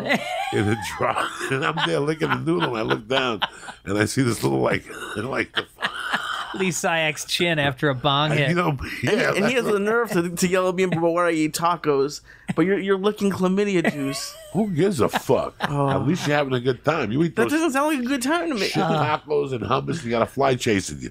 I'm surprised you don't have a fly in your neck tonight, you filthy fuck. He eats that hummus. He always has a pet fly. This guy's the only guy that's got a pet fly, and he brings every You time have pet flies. No, I don't. It's you. Every time I kill He's one, I got. throw him out. What do you mean? He's got flies that follow him? All the time. Oh he's got a fly around his neck all the time. He eats something. When he leaves the door open here. no, he doesn't. Oh. I leave the fly, and the fly will come right in and sit on his oh. lap. He's over there petting him like a fucking serv He's just, he's got a service fly. This fucking, this fucking momo. Seeing man. eye fly. Yeah, he got like a little service fly that's his friend and shit to help him out. This guy shows up at the airport. I got aboard first. Me and my service fly. Is it on a leash or? I got service flies. Listen, I open when I, that little bathroom I take shits in. Yeah. Yeah. I have all my weed. Wait, which bathroom? the bathroom? bathroom in my house. Yeah. I have a back bathroom connected to my office, and I can open the door and take a shit in there. And it's funny that I Is that the only place you shit in the house? yeah, because I'm just cause controversy anywhere else. Yeah. The other bathroom is in between Mercy and my wife's room. I'll fuck that bathroom up. Yeah. And the other bathroom is outside of Mercy's door, and it's just too small. Like I feel claustrophobic in there. I can't move. There's too, too much shit going on. There's to- I can't shit when there's toys. You know Yeah. what I'm saying? Yeah. Toys right. and dolls. And there's like a little black doll looking at shit. It's hard Yeah. for me to take a shit. No, you want to see you, you want to see an Ace Frehley bobblehead doll Yeah, you're want, taking a I shit. I want my legs loose. yeah. I like my legs outward. Yep. I, I, I take a leg out of the pants. Do you? Oh fuck yeah! I want to be loose. I don't. Why take? You're gonna fuck. You're gonna fuck somebody with handcuffs on their legs. Why would you do that to yourself? I take the shit. I take the legs out of the pants. I open up those two legs like I fucking own the fort. Wait, wh- what about in public bathrooms? That too. I don't No give a- fucking yeah, I don't give a fuck. I don't give a fuck. if you're looking in here, it means you're looking for dick to the peephole. You know what I'm saying? No, oh, man, you're supposed to be like a catcher. I you take get the down leg out. I take the leg out, and then I rip my one ass cheek out, and I put it on the toilet seat, so there's no misunderstanding. So my asshole is in perfect Oh position. It's like when the Koreans are gonna send the missile. You know that thing moves over, just like that. I'm positioned to open up the fucking thing, and once I sit, I can't get up. Yeah. Because if you get up, my ass sticks to the toilet seat, and my nutsack will go under the toilet thing, and I'll sit on it. You know how many times? Because I don't put my balls in the toilet. I don't do that because I What? respect women. No, I don't sit all the way back.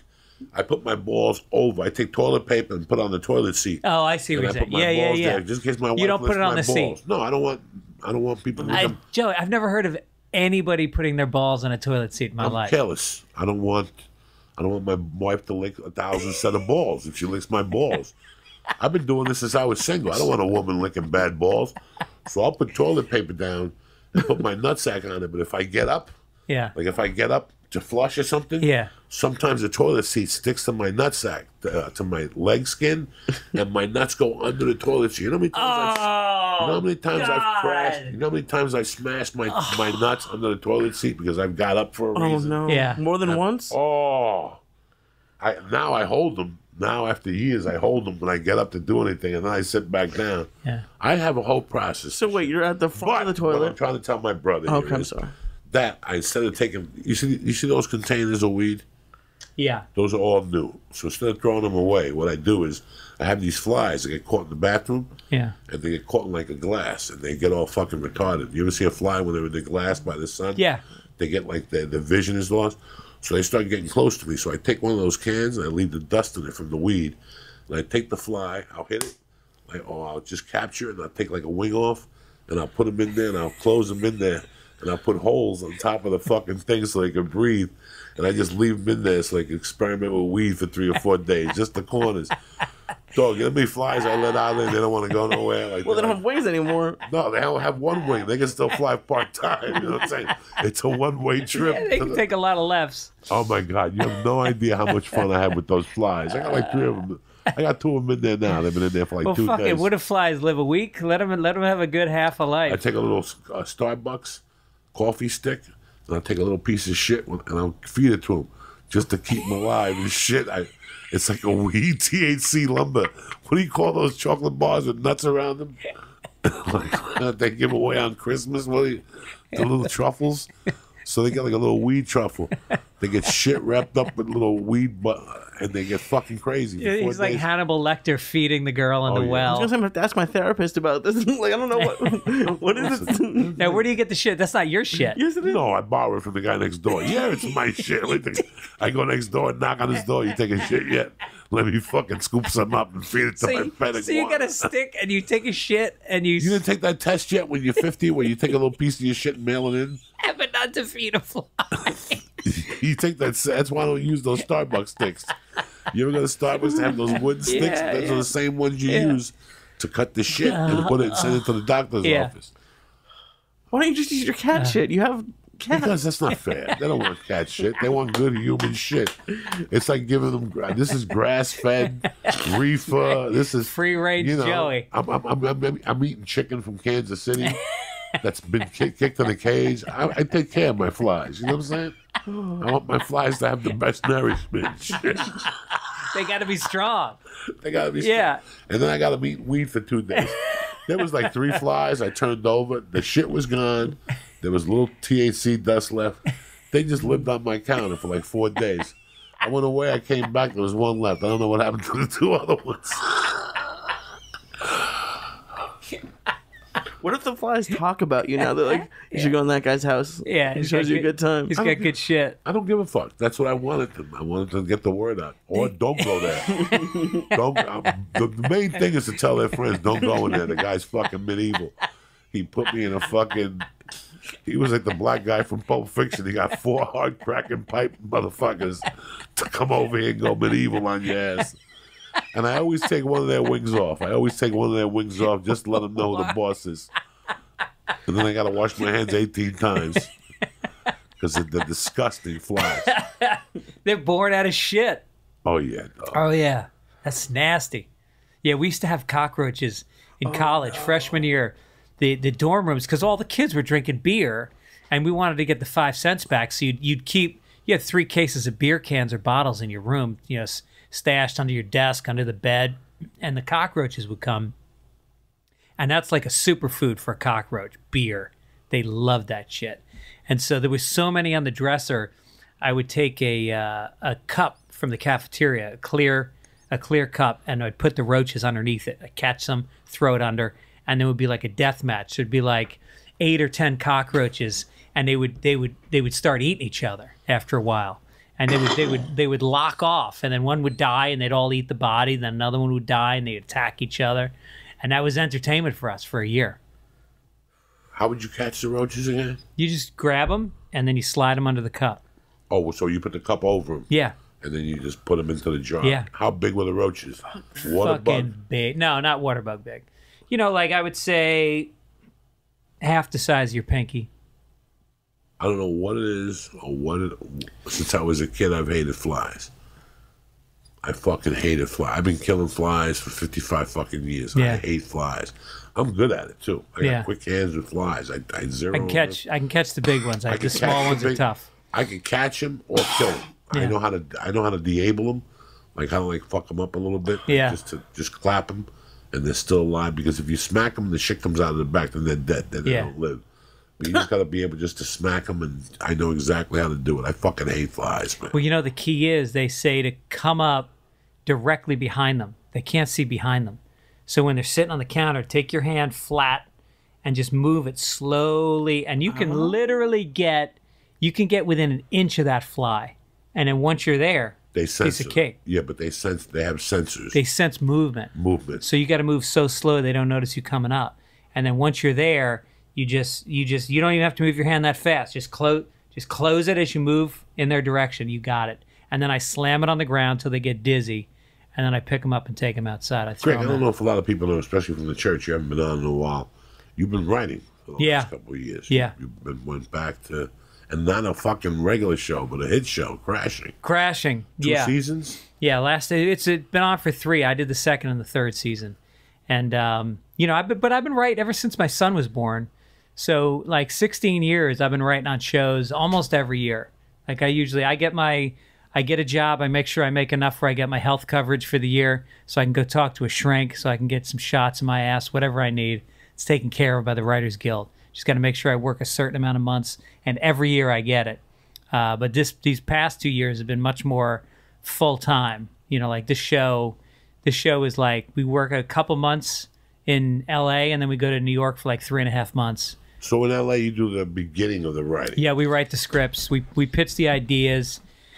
You know, it's a lot of comics, and uh, we sit in a room. Ian Ian Edwards has been a part of it the last couple years, and uh, Jamie Lee, and you know Pete Holmes, and so we sit in a room. We all just tell road stories, just like what's the most twisted shit that happened to you on the road. What you know, waitress that you hooked up with at the back at the condo, or a club owner that fucked you over, and you just tell these stories, and then they they get put on cards up on the wall and then later on we're trying to figure out episodes and we pull from those and it's really weird because you see like like this past season there was a story right out of my act that we ended up shooting not out of my act out of my life that's something had happened to me on the road and i pitched it out all of a sudden you know you're shooting it with actors and you're like this is fucking trippy you know?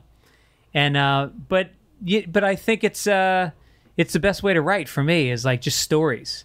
It's tough to sit in a room and uh, i've written on shows where the characters are prefabbed. It's like those houses you buy and then they move them to the site and they plop them down. That's what the scripts feel like. Like this is what the network likes they want uh they want four characters workplace you know these, these two are dating and there's so many rules that by the time you write the script there's no creativity left and with a show like this, it all starts from just stories. And so you sit around, you tell a good story, and then you don't have to stop down. The thing about HBO or Amazon or or Netflix is you don't first of all you can curse, you can show sex, whatever. Second of all, you don't get notes from the network. HBO does not send notes. We shoot the show. You know, if they if, if we get notes, it's minimal, very minimal. And they say we trust you. It's Judd Apatow. Do your thing. And then at the end of it, lock up, give us the keys. We'll let you know if you can do another season. That's it. And then we also don't have uh, uh, commercial breaks. So one of the things about uh, sitcoms that's so hard is that there's two commercial breaks. So you got to have two cliffhangers in every episode. You got to have twice where you got the audience where he's like, we got to give them something that they're gonna sit through a fucking uh, a Matthew McConaughey ad for a car and a watch commercial and a Mr. Clean commercial, and and and so it falsely puts things into the story that build up the stakes. So you got to deal with that.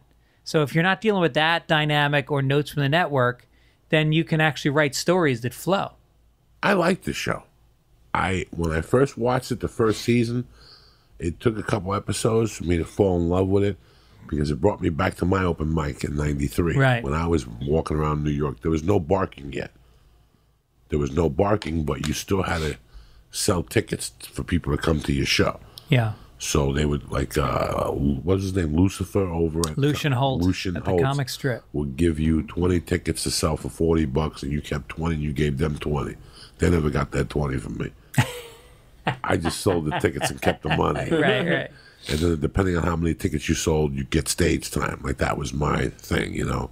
You guys did an episode where he started dating a girl and they went to NACA Right. and she did well and he didn't. And that's the Or he did well and she did did. well and she didn't. Yeah. And it was the it was a great episode for me because it was like that's why you don't date a comic. Yeah. Like these are the lessons when you don't date a comic. You Yeah. know, you had them doing warm up work, which it, it just took the comic to different levels. For a guy like me, I enjoy it. I Yeah. watched it every Sunday when it came on. And, Yeah. Because we do the podcast at eight, so we get the show at like six or six thirty on in California. Uh-huh. Yeah. so I liked it. Yeah. and I like the one on Showtime too. Believe it or not, I like them both. I'm dying up here. Yeah, I like Yeah. them both. You Right. know, they're not.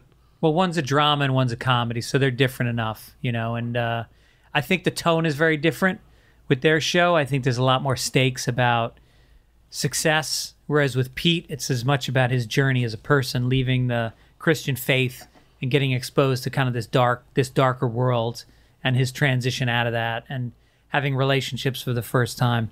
So I think in this past season, it's probably more about career than the other ones were uh, because he was still getting his footing. I think personally in the first two first two seasons. It's a it's a weird place to be where Pete is on that show. Yeah, It's a weird place to be as a comic. You're in the middle of that world, you know, and you have to have this certain certain humbleness to you. You have to, you know, keep your mouth shut, keep your ears open. You know, you guys had him going from couch to couch for a while. The funny thing is the him and Artie perspective yeah, which I always thought Artie should have been a lot bigger with him and scared him. Like when I first started comedy, I had a guy named Rick Kearns who I love dearly. I still speak to Rick. He's a writer also. He he writes for Ron White, and my first couple experiences on the road with him were just like, I don't think I can handle this. Like I don't think I'm gonna. What are you talking about? Like the first time I, because I'd be at my house at four to pick me up. Pick you up. And I got there, and he's like, "All right, park your car over here. We're taking my truck. Um, you're driving. I can't drive. I got three DUIs." And then the first stop is at the liquor store, and he goes in. He comes out, and he takes out half a Gatorade and puts the whole thing of vodka in there. And then we had to stop at his coke dealer's house, and he came out of the car at five. You know, it's four in the afternoon, and he's like, "All right, get on the interstate." And, and you're learning about his con, and he's scaring the shit out of me. The more you know, you want a sip of this, and not only is he drinking the vodka and the whatever, but he's drinking. Uh, and I'm not talking about Rick Kearns in particular. I'm talking about when I first started. I Yeah. would work with other comics that while they were drinking, they had a bottle and they were drinking that. They were doing drugs. They'd stop to gamble, and I'm like, is this what I want to be? yeah, I worked with a guy that killed himself a couple of years about in 2000. He hung himself at the lap stop. oh You- yeah, You remember that guy? He was he he. They said the knew guy was really really was going to be a star, but the drugs he got deals. This he was a star. I met him. oh I know who you're talking about. I met him in '93, and people were like, "Bro, that dude's a badass comic. Drugs and shit just fucked him up." And I'll never forget. It was that was the situation. He took a bus in from Denver, and I picked him up somewhere in Boulder. And from the minute he got in the car, I was like, "All right, let's go for booze." And I'm like, "What are you talking about? We're professionals. What are you talking about? You want to be a comic, or you want to be a pussy kid?" And next thing you know, we're at a fucking drug house in Longmont, Colorado, at a park buying like coke from fucking people who don't speak English and shit. And they were his friends. And the next thing you know, we're driving to Fort Collins. And the next morning, I had to get back. He called me at eight in the morning to drive an hour to to, an, to a horse track. He was a degenerate horse guy, and I mean, eight in the morning, he's already doing blow and drinking and popping pills, and telling me, kid, if you want to make it in this business, you better take a fucking pill, you know. And I'm like, wow, okay. All that shit is what I wanted to see, like from Artie and him, Yeah. like Artie, because people like that don't really know. I didn't know that the show was basically him being taken out of his Christian base and becoming a comic. yeah, Now it makes more sense to me. yeah, that's a big part of it. And that's hard. That's hard. You know, when you have to take somebody away from their basic fundamentals. Like I, for me, it was when once I read Lenny Bruce, I knew this wasn't going to be a. Uh, ladies and gentlemen, Lenny Bruce, when he lived at the Chelsea Hotel Uh-huh. did heroin. When I read that, I knew what I was getting myself into. Yeah. I'm like, okay, I'm going to prepare myself, but I wanted the viewer at home to know that there's some fucking crazy comics out there Yeah. that you know they did that show on A and E about the dark side of comedy, and they didn't come close. Now, They took the I remember. I remember when I started out. I was a. I was an MC. Back then, like I, I came out of Boston, you know, with Joe, where we didn't go on the road. We had New England, so we went to New Hampshire one night. The next night, we go down to East Providence, Rhode Island. Next night, you're in Maine, and never a hotel. Never a hotel. You drive three, four hours to get to a gig. Sometimes they'd give you they give you a check that may or may not bounce because it's from out of state. You get back in the car, you drive three or four hours home again, and. uh and I remember um, I finally said I want to go on the road. I want to go outside of this, uh, see see if I can do stuff around the country. So I get hooked up with this gig. I drive down. Me and Tom Cotter, you know Tom Cotter. Absolutely. We get uh, we get in his car together, and we we decide to drive down the East Coast from Boston down to Florida, and we're going to stop in every club on the way, and we're gonna we're gonna do a five minute set. We're gonna try to get into that club. So we spent like a week and a half, two weeks driving down the coast. And I remember we we did one room, I think it was Charlotte, North Carolina, and the guy booked a bunch of rooms, the comedy zones Right. The out of there. Zone, absolutely. What year is this? This is 91, 92, 93, Wow. somewhere around there. So you just got in the car, a la Mitch Hedberg when he did it with Chard Hogan. Right. Just got in the car. Well, back then there was this book that came out and once a year, and it was called the uh, comedy something. It was a directory of every Yes. comedy club Yes, yes. in the in the country and who booked it and their address. So you'd send your tape out. You'd make your half inch v- VCR tapes. You'd make you'd spend all your fucking money making 200 of these tapes. You spend all, all this money mailing them around the country, and then there's no answer machines. So you know, no email. So you're calling. You're calling these bookers. Meanwhile, you got 500 other comics all call, calling The the, booker from St. Louis, directory. and they got a stack of VHSs next to their next to their desk that they never saw. So we said, "Fuck it, let's cut to the chase. We'll go there. We'll get a five minute set. We'll be in their face. We'll get some gigs." So sure enough, we get some gigs out of this guy from North Carolina, Ron D'Annunzio, maybe was the guy name.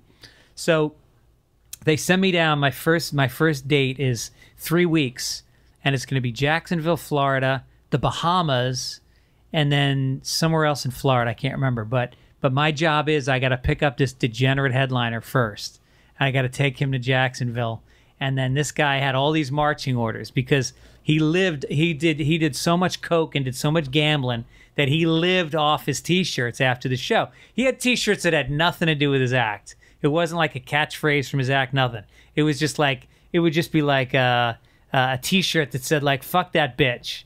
and he'd have stacks of them, suitcases full of these. And it was down south, and so all these rednecks would line up after the show, and they pull out their cash, and he would just have his pockets stuffed with twenty dollar bills at the end of the night, and then he'd go buy blow, and then he'd go to the casino. I remember in the Bahamas, every night they would send me out. I was the MC, and so I would bring up the feature act, and sure enough, this guy, I'm not going to mention his name because he's still out there, and uh, and and they'd say go find him, and I'd have to go find this guy, and it was on a, it was in in the Bahamas, and they had a casino uh, with with the club, so I'd be running around from fucking the craps tables to the slot machines everywhere looking for this she's short guy who was about five foot four and he wore these glittery blazers like real cheesy double breasted cruise ship with the black polyester pants with the crease down the front and fancy shoes shiny fucking uh, alligator skin shoes and the hair we, was like he looked like a magician with that that hair was like feathered back on the sides with the hard part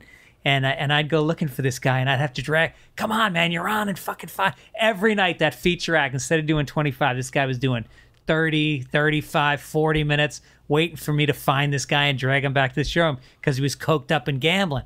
And he'd come back and he'd do his show, and he was a pro. But he had this act. You could tell he'd been doing the same act for 20 years, word for word. He just mailed it in. He got up there, hit play, and he was a showman, you know, bigger than life, played to the back of the room, little crowd work, same crowd work every time. Sir, where are you from? Blah. Oh, I didn't know they I didn't know they made blank and blah. And then after the show sell his shit and then right back to the tables. And on Saturday night, three shows on a Saturday night, all three shows, tracking this motherfucker down and trying to get him on stage so that feature act could stop sucking his own dick up there. Burning material he didn't have, stealing by the end, doing anything to just keep stretching it out until this guy got there. That was the hardest thing in the beginning was meeting headliners that were worse people than I was at the time. Yeah. Like here I was a fucking criminal. And these guys, Yeah, but you knew what you wanted to do. these guys had wives. And they were cheating. Yeah, right. Just it was just uh, it, it was like two or three years of meeting these type in those D rooms. That's what you meet Right. in those triple rooms and all those other fucking little rooms. You don't meet. You know, Joe Rogan's not going to go in there. Fucking, uh, you know, Fitzsimmons is not going to play those rooms. It's a fucking D room. You know, Yeah. You you work with the bottom of the barrel, and you're like, and they borrow money from you. And they try to borrow money from you to gamble. I mean, it's fucking crazy. So you're thinking, do I even want to fucking do this shit? Yeah. So that's what I thought the Artie character. But the Artie character's been good to him.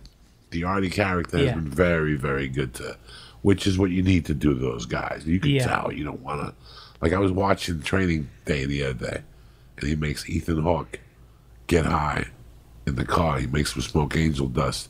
Then he fucks with him and shit. That's evil stuff. Yeah. But that's part of it. That's Yeah. part of the fucking thing. You gotta, you know, we want you to know. I think for a lot of guests coming in here, I think it's like training day. I think you're Denzel Washington, and you get people, you get people some fucking, uh, some gummy bears in them, some Chiba no chews, more. That's it. and Listen, two or three hours later they come, they come walking out of out into the parking lot like, what the fuck just happened to me? It's, it's so weird how my life is that I go through phases and stuff. The edibles I loved because I, they really got me high and they Yeah. calmed me down. But it also came with a price of a fucking bad appetite. And it was doing something to me. And uh, like February, I started getting these. we- First of all, I couldn't eat half the shit anymore. Half the that, that gummy stuff has to be bad for you. You mean it's too strong, It, or you just mean the ingredients? One of them that we ate was like on a list, like something that caused cancer. Oh, really? One of the cushy, cushy, cushy. So something happened to me at one point. that I was like, I got to stop eating. Something was going on, so I had to eliminate stuff from my diet.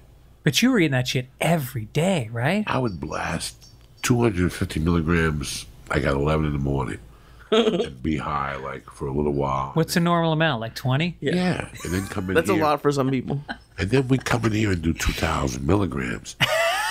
and let me tell you something. There's podcasts I listen to, and I love you guys. I, I, I love that you supported us over the years, but there's podcasts that I would not listen to today. we were just so fucking high. You know, somebody posted the Theo Von Mushroom podcast today. Yeah. I listened to that podcast for 10 minutes. That was crazy. That's like our most popular episode. Wait, you guys took great. mushrooms and you sat in here and did a oh, podcast? multiple times, Multiple times. One time Really? we took acid with Ralphie. a couple times, yeah. And one time we took acid with Eddie Bravo and Ari. And Ari took his shirt off and everything. It was fucking great. It was great to do a pot. You know, all these things are great, but you got to move on. Yeah. You got to move on. yeah. And this is in comedy. This is in whatever you do, you evolve.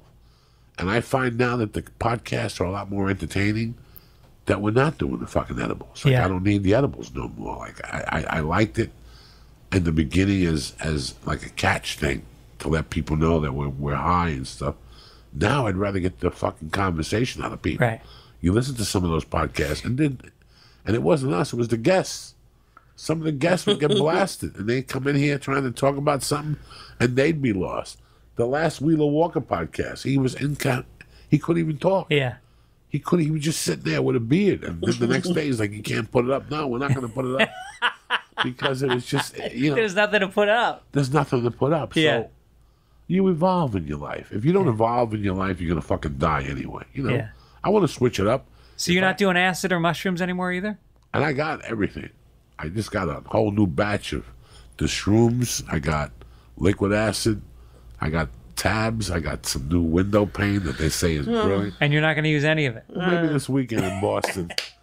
It's Lee's first weekend of MCing. Oh, so I yeah? gotta, I gotta introduce no him. shit. It's Yeah. gonna be great. He's bringing me to like, a big places. Wow. the, the Wilbur, and Theater, you're going to have a blast. But I my can't just. fun. He's got to pay his dues a little bit. I just can't. Yeah, So right. I'm gonna have to make him carry luggage this week and Yeah. run to the store and get milk. When that's the wrong milk and smack him. Give him a That's right. backhand, you That's know. right.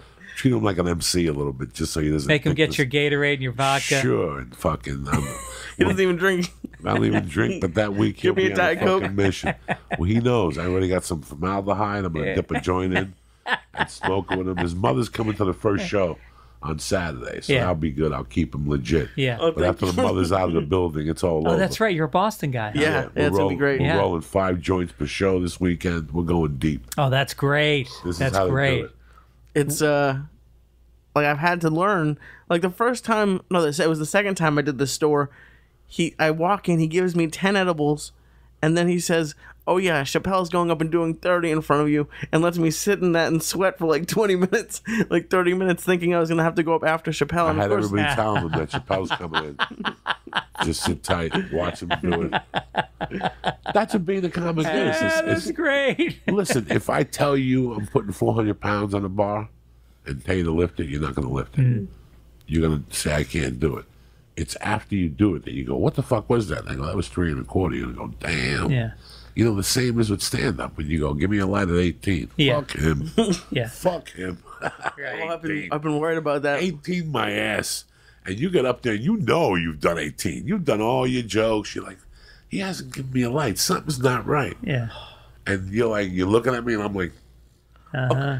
So that's what I'm worried about. Like what? Like I, I get, I'm getting nervous. Like what if I don't see the light and then I just get off, thinking I missed it, and then you're like, no, I didn't give you the light yet. Go Set back. your set your timer to vibrate on your What phone. about- Put it in your pocket. What about when they give you the light and you get off and I tell you you shouldn't have gotten off there? You didn't get the light because I'll fuck with you. God Yeah. damn it. Now I can't pay you. You didn't. You didn't do your Yeah. time.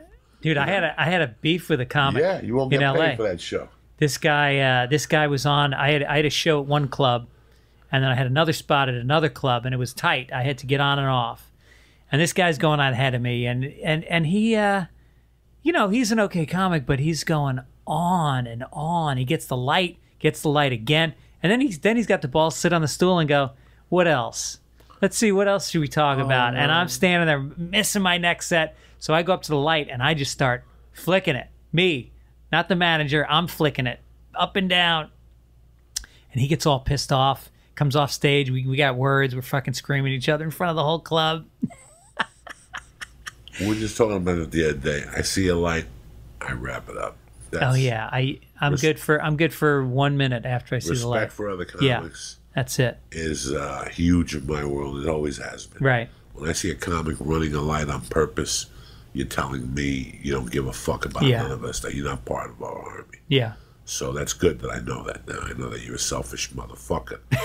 You know? Yep. I see a light, I get the Yep. fuck out. I can't wait to see that light. You don't got to light me twice. Yeah. Not at all. Nope. Once, one, one time when I was doing Xanax in Beaumont, the light didn't mean nothing. I just laid down and took a nap. Yeah. They were lighting me. I can't see the fucking light.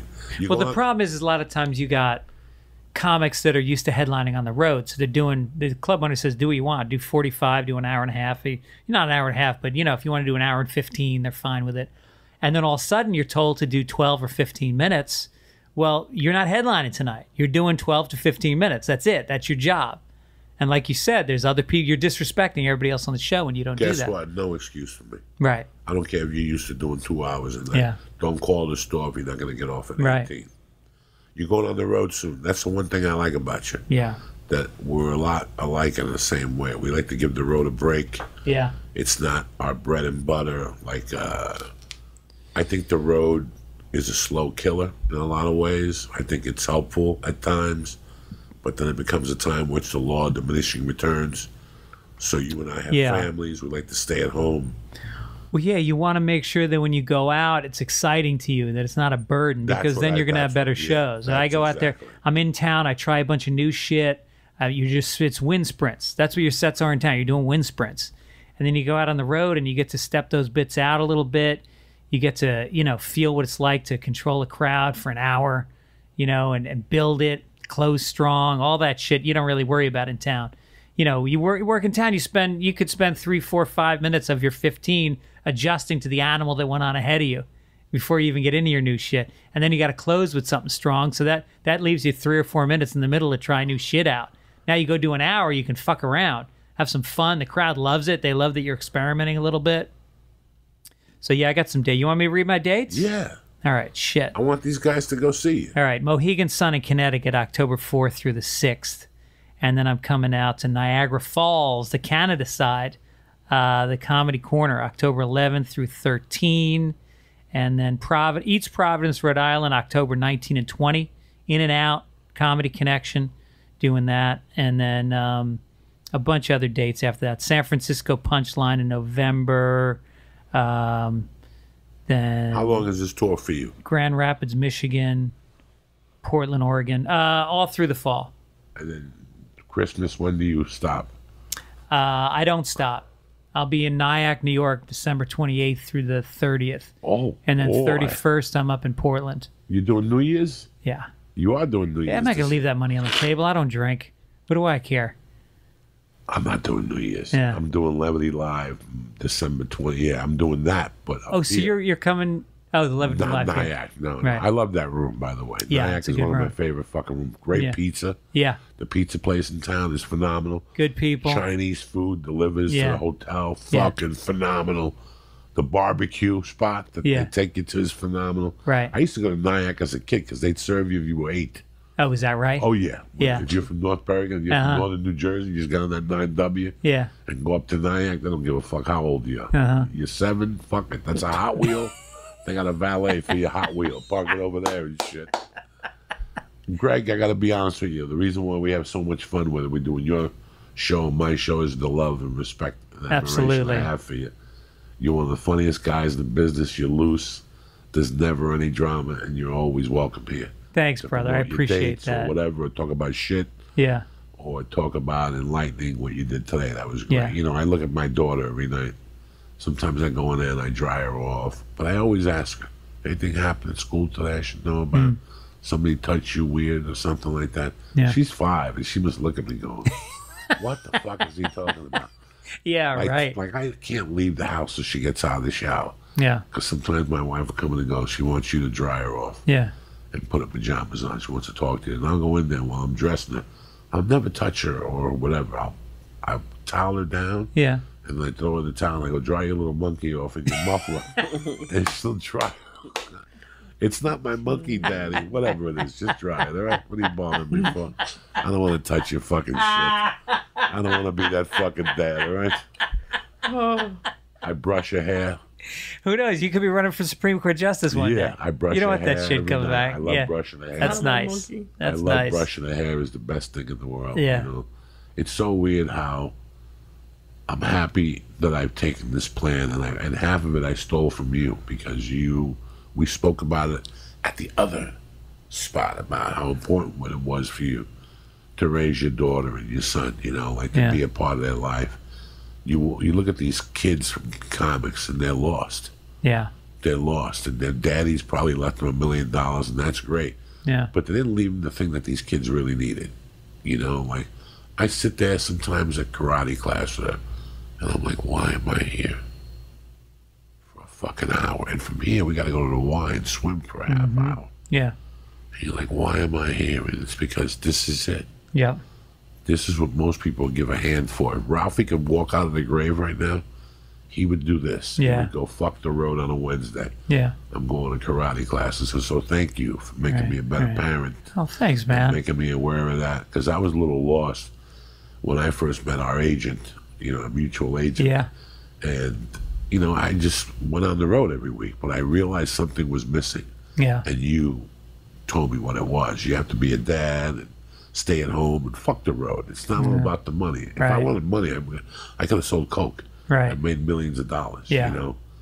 So thank you for Yeah, that aspect thanks, in man. my life. Man. That's That nice of you to say, Now I'm a uh, good dad. And Yeah. I'll be in Boston. It's sold out. Here we go. The other one is sold out. But Florida, I'm coming down. And I'm only coming for one fucking week to one place, and that's West Palm Beach. So if you don't get your roller skates and your cape on, you're missing me. West Palm, October 11th to the 13th. And then I'm in Cleveland, the 25th to the 27th. I want to thank my man Greg Fitzsimmons for coming on. I, I love that guy with all my heart, all the respect. If you listen to his podcast and the show, you know the guy's the real deal. I want to thank you guys for listening.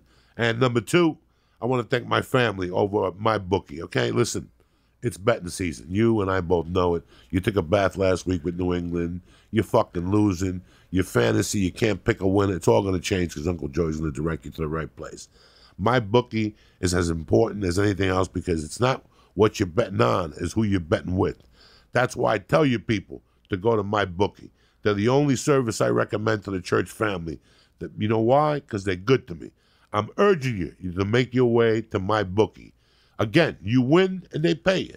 They got in-game live betting, over and unders on fantasy po- points scored, and the most rewarding player perks in the motherfucking business. Now, my bookie is slammed with new betters all day. So they want to give you everyone the best service possible, especially the church family. So if you're willing to deposit after 7 p.m. Eastern, that's 4 o'clock Pacific, that's 5 o'clock Colorado, and so forth and so on, they'll give you an additional $25 free play on deposits over a yardstick. That's $100. Are you, did you understand what I just said to you? So join now, and my bookie will match your deposit dollar for dollar. Use promo code CHURCH to activate the offer. Now you visit my bookie online today. It's my bookie, M Y B O O K I E, and don't forget to use promo code CHURCH. Enter promo code when creating your account, and you claim up to a thousand dollars in free play. So if you're holding out till after four o'clock today or after seven, you get an extra twenty-five dollar free play on using promo code. There's a tremendous game tomorrow night. You got the motherfucking Rams playing the Minnesota Vikings on a fucking Thursday night. Who's better than you guys? Right now, if you're willing to hold out till seven, you can enter an extra twenty-five dollar free play by using promo code Church. All right, it's up to you guys. But I'd wait till after dinner to make the extra money. My bookie. You play, you win, you get paid. Speaking of money, you know me, guys. I don't. We're family here. We talk to each other the right way. Robinhood, I love this. I got the app down on my phone. It's an investment app that lets you buy and sell stocks, EF, ETFSs, options, cryptos. Here's the beauty: all commission free. They strive to make financial services work for everyone, not just the wealthy people. Right, guys like you and me. Values of Robinhood app. Are you ready? Other brokerages, they charge up to $10 for every trade, but Robinhood doesn't charge a commission on fees. Trade stocks, that means you keep all your profits. It's easy to understand charts with market data. You place a trade, just four taps on your smartphone, and the Robinhood web platform also lets you view stock collections the most 100 popular sectors like entertainment and social media, and curated categories like female CEOs and analyst ratings of buy, hold, and sell of every stock. You learn how to invest as you build your portfolio. Discover new stocks and track favorite companies with personalized news feeds. That's custom notifications for price movements so you know what? You never miss the right move to invest. Who's better than Robinhood? Nobody. So I'm going to do this for you. Robinhood's going to give the church family a free stock like Apple, Ford, or Sprint to help build your portfolio. You sign up at church.robinhood.com. Again, that's church.robinhood.com. And they're going to give you a free stock. Apple, Ford, Sprint, something like that to get the party started. Who else does that for you? Uncle Joey. So I want to thank my bookie and I want to thank Robinhood for reaching out to the church family for always hooking us up. I want to thank Greg. I want to thank fucking Daniel and O'Neill. I want to thank Danish and O'Neill, whatever the fucking names are. I want to thank the uh, Christ Killer. But most importantly, I want to thank the uh, church family for listening and for support. Without you guys, we'd have guts. I'll either see you in Boston or October 11th to the 13th in motherfucking West Palm or the 25th of October to the 27th. Pre Halloween weekend. Bring the fucking fireworks, acid, bazookas. We're going deep at Hilarities. Besides that, I love you motherfuckers. Thank you for burying me. And thank you for having my back all the time. Have a great weekend. Stay black, stay healthy, and we'll see you Monday morning, Tip Top Magoo. Kick this fucking mule